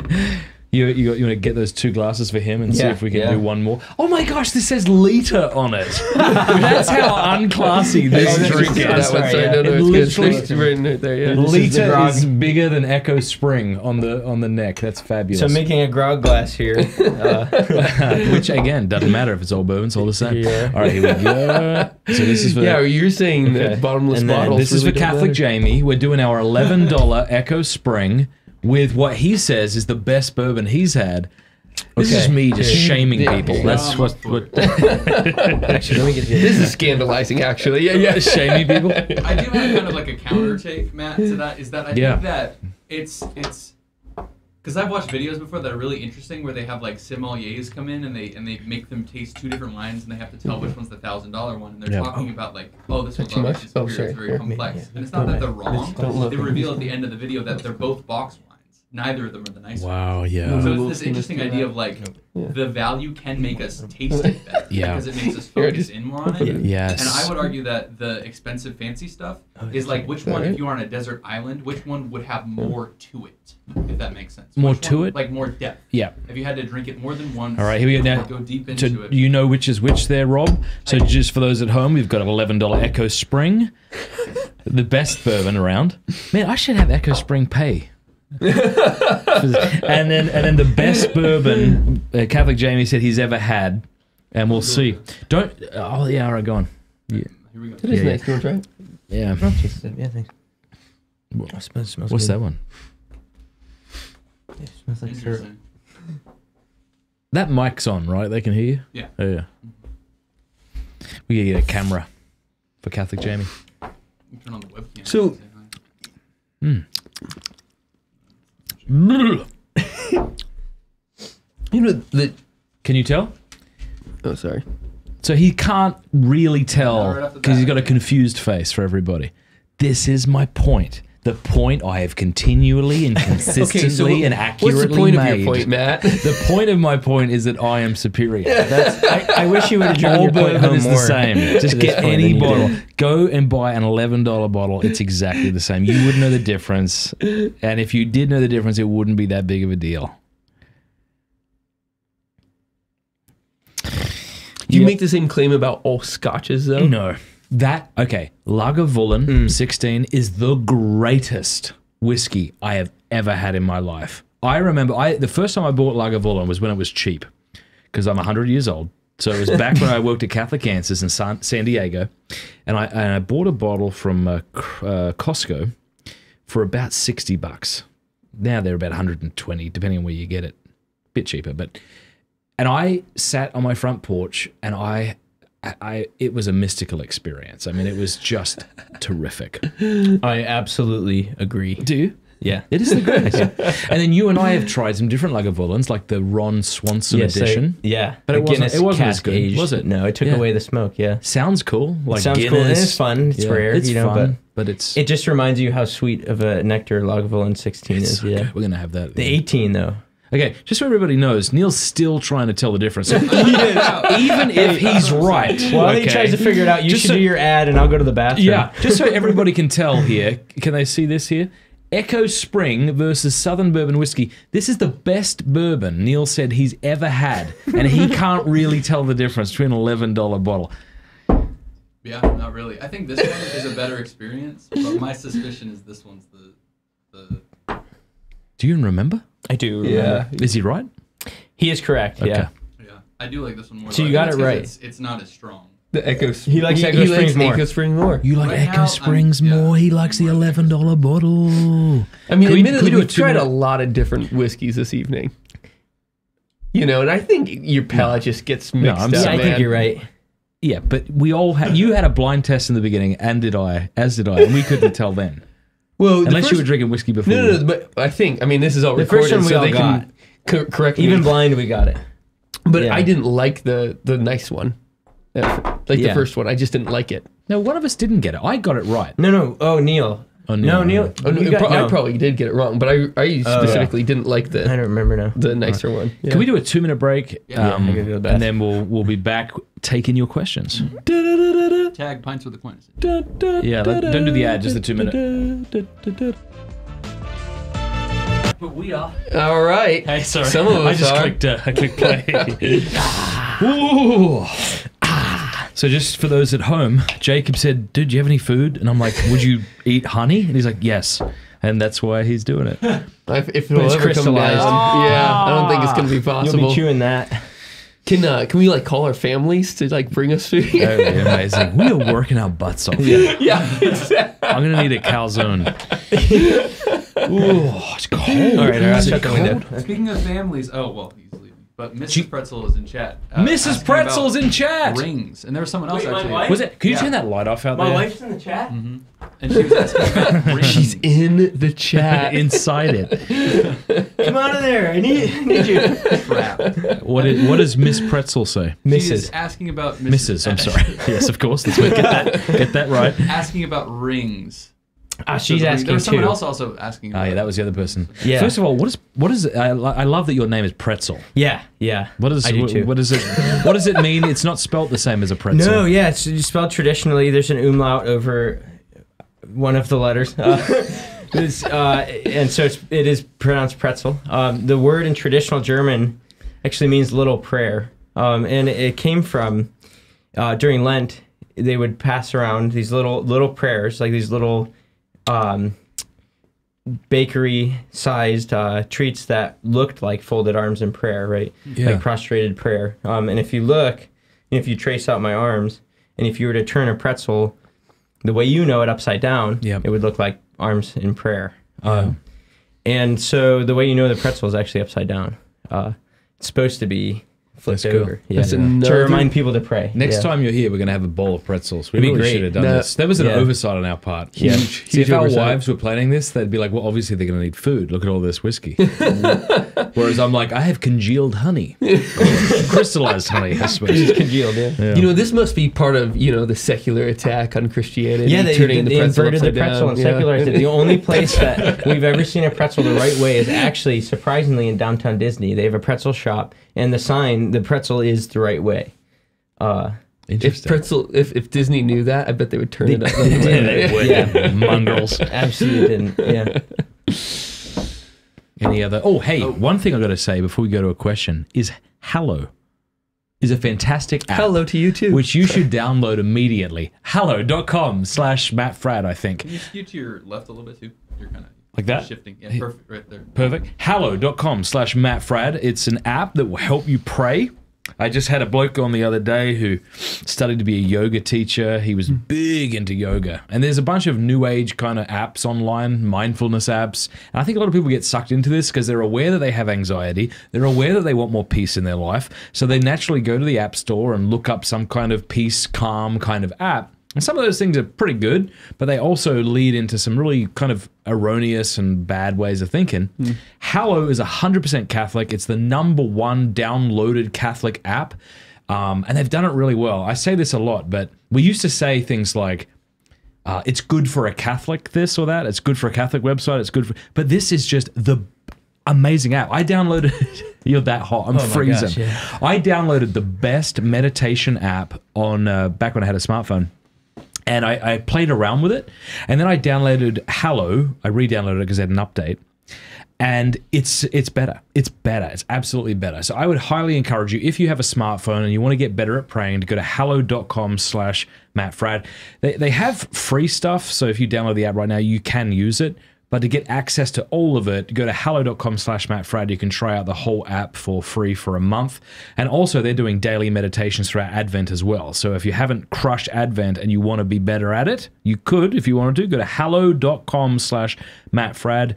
My wife and I have both used it. And, you know, while I'm open to promoting things I'm not super enthusiastic about, like if there are any mattress companies, I would totally sell out. but I mean it when I say, you know, they send me a free mattress, but I mean it when I say this is a terrific app and it's really good, faithful people, and you're going to find faithful Catholic t- content at hallow.com slash Matt Fradd. There you go. That was my second ad read. That was a good Done. Link in the description. We have a $20 super chat from John Whoa. uh, Wow. Mott. I'd love to hear a John. discussion about drinking alone, uh, often and moderately, a regular nightcap after the family goes to bed. I'm more interested in the morality of the habit. Uh, and then also he's asking about distinguishing between being buzzed and drunk, which I think that might be a Mm. separate conversation. But people were talking about that earlier when you were uh, when we were first starting the episode, um, and you were talk, we were talking about being drunk being a sin. So Mhm, the distinct mhm. that that specific distinction. So Yeah, those so are uh, those are two great questions. I, I want to say something about the first, and I'd love to get your, your guys' take on it. Um, yeah, so the question is, you know, drinking alone, the morality of drinking alone, and I think like the same thing. You could say that drinking alone could be problematic without saying it's a sin. I think, or if it's a sin, I don't think. I mean, provided you're not getting drunk, right, um, or drinking to excess you could say that it's a sin for different reasons. Like maybe I'm avoiding certain things that I ought to be engaging in and doing because I'm just always stressed out and this is the way I'm coping. And again, I'm not talking about being drunk. So I think you could maybe say there's something there, maybe the sin of sloth or maybe some other sin. But in and of itself, while it might be less uh, conducive to whatever alcohol's supposed to do, I wouldn't say it's a sin unless you're, you're getting drunk. Um, but I, I, I definitely heard people say things like you should never drink alone. And that might be good wisdom, but I still don't think you could say it's a sin, right? You'd still want to employ what Aquinas is saying when he's talking about whether alcohol's a sin or not. Right. Yeah. I, I mean, I there's the place I would start with saying, look, where we're reading these questions, this, these like what you're opening up right here in the Summa, like what section it is. It's you know in his major treatise on virtue and vice. And virtue and vice is really important to understand within the Catholic tradition as something that comes after law. It is what we are supposed to move into to be born out of. Whereas law is something that's directional, it's a guide, it's a teacher. Uh, it's not an absolute in and of itself. It doesn't end in and of itself. There's the creativity that comes with a heart that is captured by Christ, in love with Christ, and thus actually has once again assumed our proper role as, as humans to be creative uh, in the way that we're living out the world and enacting love within it. That's maybe a bit too theoretical, but all to, all to say is that rules such as you should never drink alone are good as you're getting started. But ultimately, we are supposed to graduate in the Christian life to the virtues, which is where the creative life is, where you know yourself, what you can handle, what's good for you, what actually is the best way of of loving God and loving neighbor. And at that point, you you are free. Um, there's still there's certain things that are just always sins, um, but at, at another point, something like drinking alone That's a great point. is uh, is something that could be sinful for one actually because it is an occasion of sin, a real occasion of sin. Um, and if you have set yourself intentionally up into an occasion of sin that you know you're going to fail in, that is itself a mortal sin. But you know, I, it's not for all. Certainly not for all. Cool. Thank you. Yeah, that's fantastically put. Um, I don't have anything to add. Mm. I think, yeah, I would I would agree. Yeah. The second question is a good one. And this kind of comes back to the point I keep making, but I don't know why I'm making it. I know there's a reason, but I can't grasp it yet. And it's this idea that we drink for a physiological response, right? Mm-hmm. So that's what. So this comes into this question about like buzzed versus drunk. Like, what do you mean by buzzed? Do by buzzed do you mean feel the effects of alcohol? Well, my point is that's why people drink alcohol. They drink alcohol to feel the effects of alcohol. That's that's why we drink alcohol. That's why the Ecclesiasticus says it's the joy, right, hmm. of man. It's not because of the wonderful taste that it is. That's part of it. But if that's all it was, I don't think we'd be singing the praises of alcohol. I don't think yeah. we don't we don't have a great celebration where we crack open the wine and all drink together because of this wonderful taste. That's part of it, but it's also the joy that it brings. The only place where something like that happens is a Coke commercial. Yeah, It's literally people it. are really into that. Yeah. But it's just on adverts, you know? Yeah. I mean, it's not like you have Coke parties. That's, a, that's a good point. Yeah, yeah. Um, and there is something about you know as as alcohol it is it has like a drug like effect you know on a in or um it captures us it brings us in caffeine does the same thing you know because it has an, a real effect on our body Which, which is why if I sit down for a coffee with my wife Mm-hmm. and if she's like, I'm going to have a glass of water, it's, we're both drinking beverages. It's the same thing. It's, it's not the same No. thing. Yeah. yeah absolutely We're but sharing an experience. But uh, you know, it is funny because I'll never forget when I um, first started to drink with my like non-Catholic friends. The a lot of them would not even make a distinction between buzzed and drunk. Like they would start drinking, they're like, "This is nice. We're, I'm starting to feel drunk." Stuff like that. And I was like, "Whoa, no, I'm." I'm feeling great. I'm just Yeah. really happy to be with you, you know. Yeah. And and I actually don't know why why that is. If there's um, whether or not it was because there wasn't a moral divide for them or or what i'm not sure but it actually does or if there is like a, a further wisdom to it which is your point is that it's all kind of within a scale um, with it that they see that. And the point of drinking is okay now we're there. You know like we're, we're at this place. But w- maybe what i would prefer to translate to is merriment you know? Yeah, merriment is much more wholesome of a word than, Than buzzed, buzzed. yeah. Yeah, absolutely. Yeah, yeah, I've had Catholics, uh, Catholic friends as well, m- confuse maybe sometimes uh, feeling buzzed or yeah, feeling merriment, feeling the effects of the alcohol with being drunk. You know, uh, I- I- there is an important distinction there. You know, um, and I, I do I do prefer that as well. I like that uh, way of putting it, feeling the merriment of it. But I think this question is kind of this. I'm not accusing this person of being legalistic, but the question can be legalistic, and it gets to your point about virtue being innate, because I think there is this desire for a law. Like, wouldn't it be great if the church just said you may have two beers and after that it's a sin? Like, we want the clear distinctions, and you mm-hmm. don't have that with alcohol necessarily. And and you brought that up earlier in your discussion about the first time your children drink as they grow older should be under the supervision and and the and in the in the community of the family. And there's that initial feedback, that immediate feedback that you're getting to mm. kind of gauge whether you should continue or not. Mm-hmm. Absolutely, yeah. Mm. I think the whole, the whole, our whole life is actually one of movement towards God. Hopefully, it's a whole movement towards God, but it's also kind of stumbling, you know, there left and right. you know, the the path is narrow, but you know, there's confession kind of bounces us back onto the narrow path as we go, and um, but we we can't we can't give up the fact that the that the narrow path is ultimately run upon through virtue and not through law. Mm-hmm. You know, you don't ultimately get to the pearly gates just because you followed the letter of the law well. Mm-hmm. And, and this is the whole Pharisees distinction. Like if, exactly if. Christ says if your righteousness doesn't exceed that of the Pharisees, like essentially you won't be saved, kind of thing. Yeah. And it's like the law followers. It's like the law has to work its way down into the heart so that I live differently, think differently, look at the world differently. And uh, Andrew Jones did a great job at your conference, New Polity Conference, speaking about this, where he's like, it's one thing to give your kids laws, like you should go to Mass on Sunday, but you also ideally want to come alongside them and talk about why you should want it so that they actually want what they should want and avoid what they should avoid. It's one of the craziest things. Like, is I mean, is you know, father, like thinking about how I'm going to like raise, you know, Yeah. my kids in in the faith, because the one thing that you can't actually just hand to them is virtue. You know, you can you can put put them, give them the kind of the right habits, um, but ultimately virtues are not habits; they're habitus. You know, according to Saint Thomas, which are dispositions, qualities of the soul, orientations towards the movement of love and, and God and to one another. But really, what you can't control about it is that they have to will the good. They actually have to will the good. And the only person in control of their will is themselves. And so the best we can do is, is set them up and then give the reasons for why the good is just so good. You know, and but but you know It's scary, isn't it's- it? It is. In it a is way, a bit as a terrifying. parent. Yeah. Yeah. Yeah. Any, any anything else coming through? Or?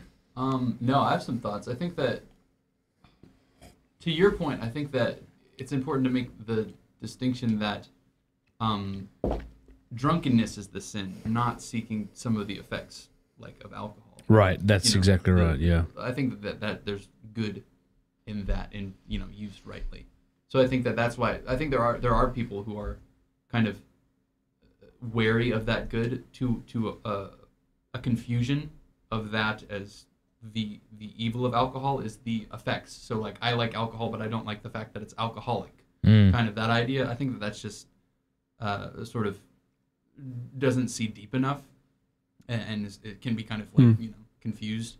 Um, yeah, and then w- what you were talking about, uh, Jacob. Um, I've been in situations that's the same thing too, and I don't know if this is exactly the distinction of, um, you know, drunk versus you know, uh, I guess giddy, buzzed. Um, uh, I don't think it's it's super helpful in that distinction, but I've been around people who are, seem to be seeking to lose themselves and to get to that point of like they, they're no longer like in charge of them themselves, if that makes sense. And that's what they're looking for. That's the experience they're looking for is like loss of self versus trying to, you know, seek something, I guess, in themselves or, or bring out something Mhm. good in themselves, but still, you know, totally be in control of themselves. It's escape, you know, it's ultimately escape. You know, so it's a form of trying to, uh, you know, abstract from what's actually going on in this real world. Um, I mean, it sounds kind of su- super, like commonplace actually, but just think about how many places in life where we're trying to escape from reality, you know, and and and once we escape from reality, we've actually escaped from all the things that God has infused Himself with in this sacramental universe. You mm. know, we're mm-hmm. ultimately escaping Him when we do that. Mm. Mm. Good stuff. Well, I think we're almost done. What do you reckon? Yeah, there's not too many comments coming through. This has been a pleasure, real mm-hmm. joy. Thanks for joining us, and yeah, thanks guys for bringing some whiskey over. Dude, this We is should do one taste test for you. We 'Cause gotta we didn't do do that yet. Okay. All right, we're So what we need is to glass. get- No, it's not. All right. I'll We leave. The, I'll, I'm still very warm. I'll leave the room and sit by the window. And we'll, we'll have a discussion about what will just be a drop, a wee drop, a wee drop. just just a wee drop. Now then we gotta sing the Scotsman song. Oh yes, we do. All right, let's let's do We'll this. save ring Wait, making All right, you want to head time. out and we'll we'll choose Yeah. some something. Uh, this is good too because he doesn't uh, he doesn't know what we're gonna do. All right. So don't look at us though. You You- need, you need to. You, are you gonna pick like a nice one versus? yeah, of course. Okay. Yeah, we won't choose two mid range. That wouldn't be the point. Yeah, I think we should get like one of the best and like. What do you think? Well, that one's really distinctive. I didn't. Yeah, I didn't taste this one. Let me just, just just have a drink out of the bottle. uh, maybe that. I mean, this is this hasn't been on. Yeah, we could do that. All right, let's try that. What should we do? Those two, like that one and that one, Should we do that? Yeah. or should we try my favorite, Echo Spring? No, we've had that too much today. He'll know it. He won't know it. It is really light. You know. What we should do too is so we don't get mixed up, we'll put the good one in the little glass and the crap one in the big one. That sounds like a parable Jesus told. Yeah, wine skins or something. Yeah. Yeah. All right. Obviously, we got we got to pair that with a great one then if we're going to do that because that one's uh This is this is uh, that's mid range. what a twenty eight dollar bottle. Should we do it with this one? My favorite. The, no, let's Yeah, not. let's Let's it. not use this one. That's a lie. All right. Uh, what about that one here? This is going to be so boring for the people at home. I mean, they've all gone. Oh, I bet there's just that one guy. It's Now- like I actually had all of these. all right. So now we know what's what. Um, Rob, All right. are you able to come in and not look at what you're drinking? Yeah. Because of the. All right, you can come in. Oh dear lord! Is that is that is it on me? It's on you. It's a little crooked though. Just so people know, he shut his eyes and I walked really directly have into the camera. Neil, how's that look? He was You just on. leave that there. I'll fix it once you walk. Okay. he was honest. Please don't try to fix it. Oh God! in my yeah, in my honesty and innocence, I whacked the camera. So Yeah. yeah. yeah. Okay, my eyes are closed. All right, his eyes are closed. Here we go. Do I keep them closed the whole time? Now you have to drink them both at the same time and, And tell tell the us difference. which side of your throat tastes better. Yeah.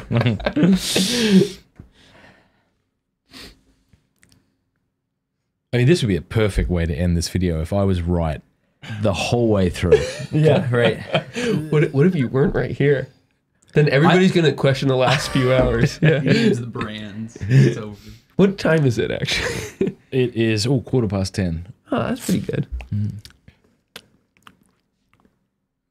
Again, I just want to point out that this isn't an easy decision for Rob.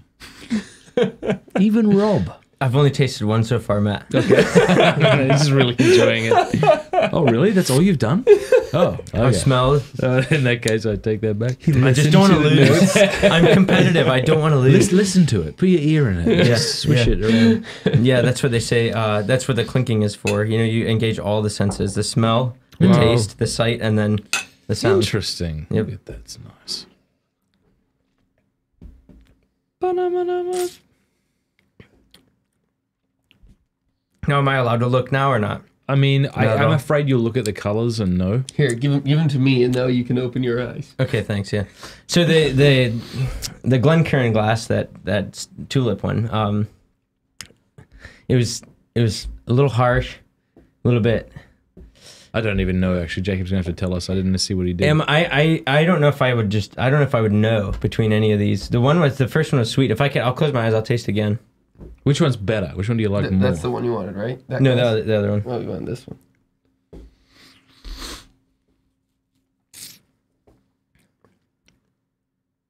I have no idea. yeah. I don't, I don't know. I would guess. All right, so that's cool, right? So I'm right, and that's the point of this video. But that was Echo Spring. Which one? This one? versus Four small roses. batch four roses? This is four roses. I don't know which is which. Uh, yeah, that is four roses. You're right. Yeah. Okay. Yeah, Yeah. you're right. Yeah. Once you know it, again, it's the it's the suggestion. Yeah. So the point of this video has been to go out and buy yourself a nice bottle of Echo Spring. You know, maybe Who sponsored this episode? what if they did this whole time? yeah, you didn't even know. loved it, Yeah, yeah, yeah. Give it, like you're point a good point. You know, come up with something profound on the spot right now. My, well, I mean, I mean, no, there's no profound point. It's just to say that it's Taste is something to cultivate. No, it's just it's it's all it's all marketing. I think it's all marketing. Like all these bourbon companies have their little story about why their bourbon is superior and unique to. Did he leave? Is he that depressed that he didn't get it? and and We'll it's just, it's, it's it's totally it's totally marketing. I mean, this is this beautiful Hmm. four rose bottle. It's gloriously done. That sticker is delightful. It has the. The Yeah. kind of outward sort of imprint of the roses versus Bloody Echo Spring, on which the word liter has a larger font than Echo Spring on the neck. I mean, you know, so there you go. That's that's a solution. that is a major marketing. Hey, to those who are watching right now, just as we wrap up, let us know what you thought about today's show because we've been thinking about doing some more long form round table discussions like this. We don't plan on drinking every time. This is like, you know, this is unique to this, but we're thinking about having different people around Steubenville coming on and just having kind of a, you know, three of us, four of us just chatting. So if you like this format, not necessarily the discussion about alcohol, but just the format, let us know in the description below. Sweet. Any final words before we wrap up? Prost. Nostrovia, yeah. Zdravia. That's a fun way to say cheers. What's Yeah. that one you said? I don't know. What do you say in uh, the Arabic language? Sahtein. That's cool. Yeah. I love the fiddler on the roof. L'chaim. Oh, that's nice. To Uh, life, yeah. yeah, that's great. in. Australia, yeah. we say cheers. no R, just cheers. All right. Thanks, mate. Thanks, Thanks, guys. That was Cool, awesome. thanks.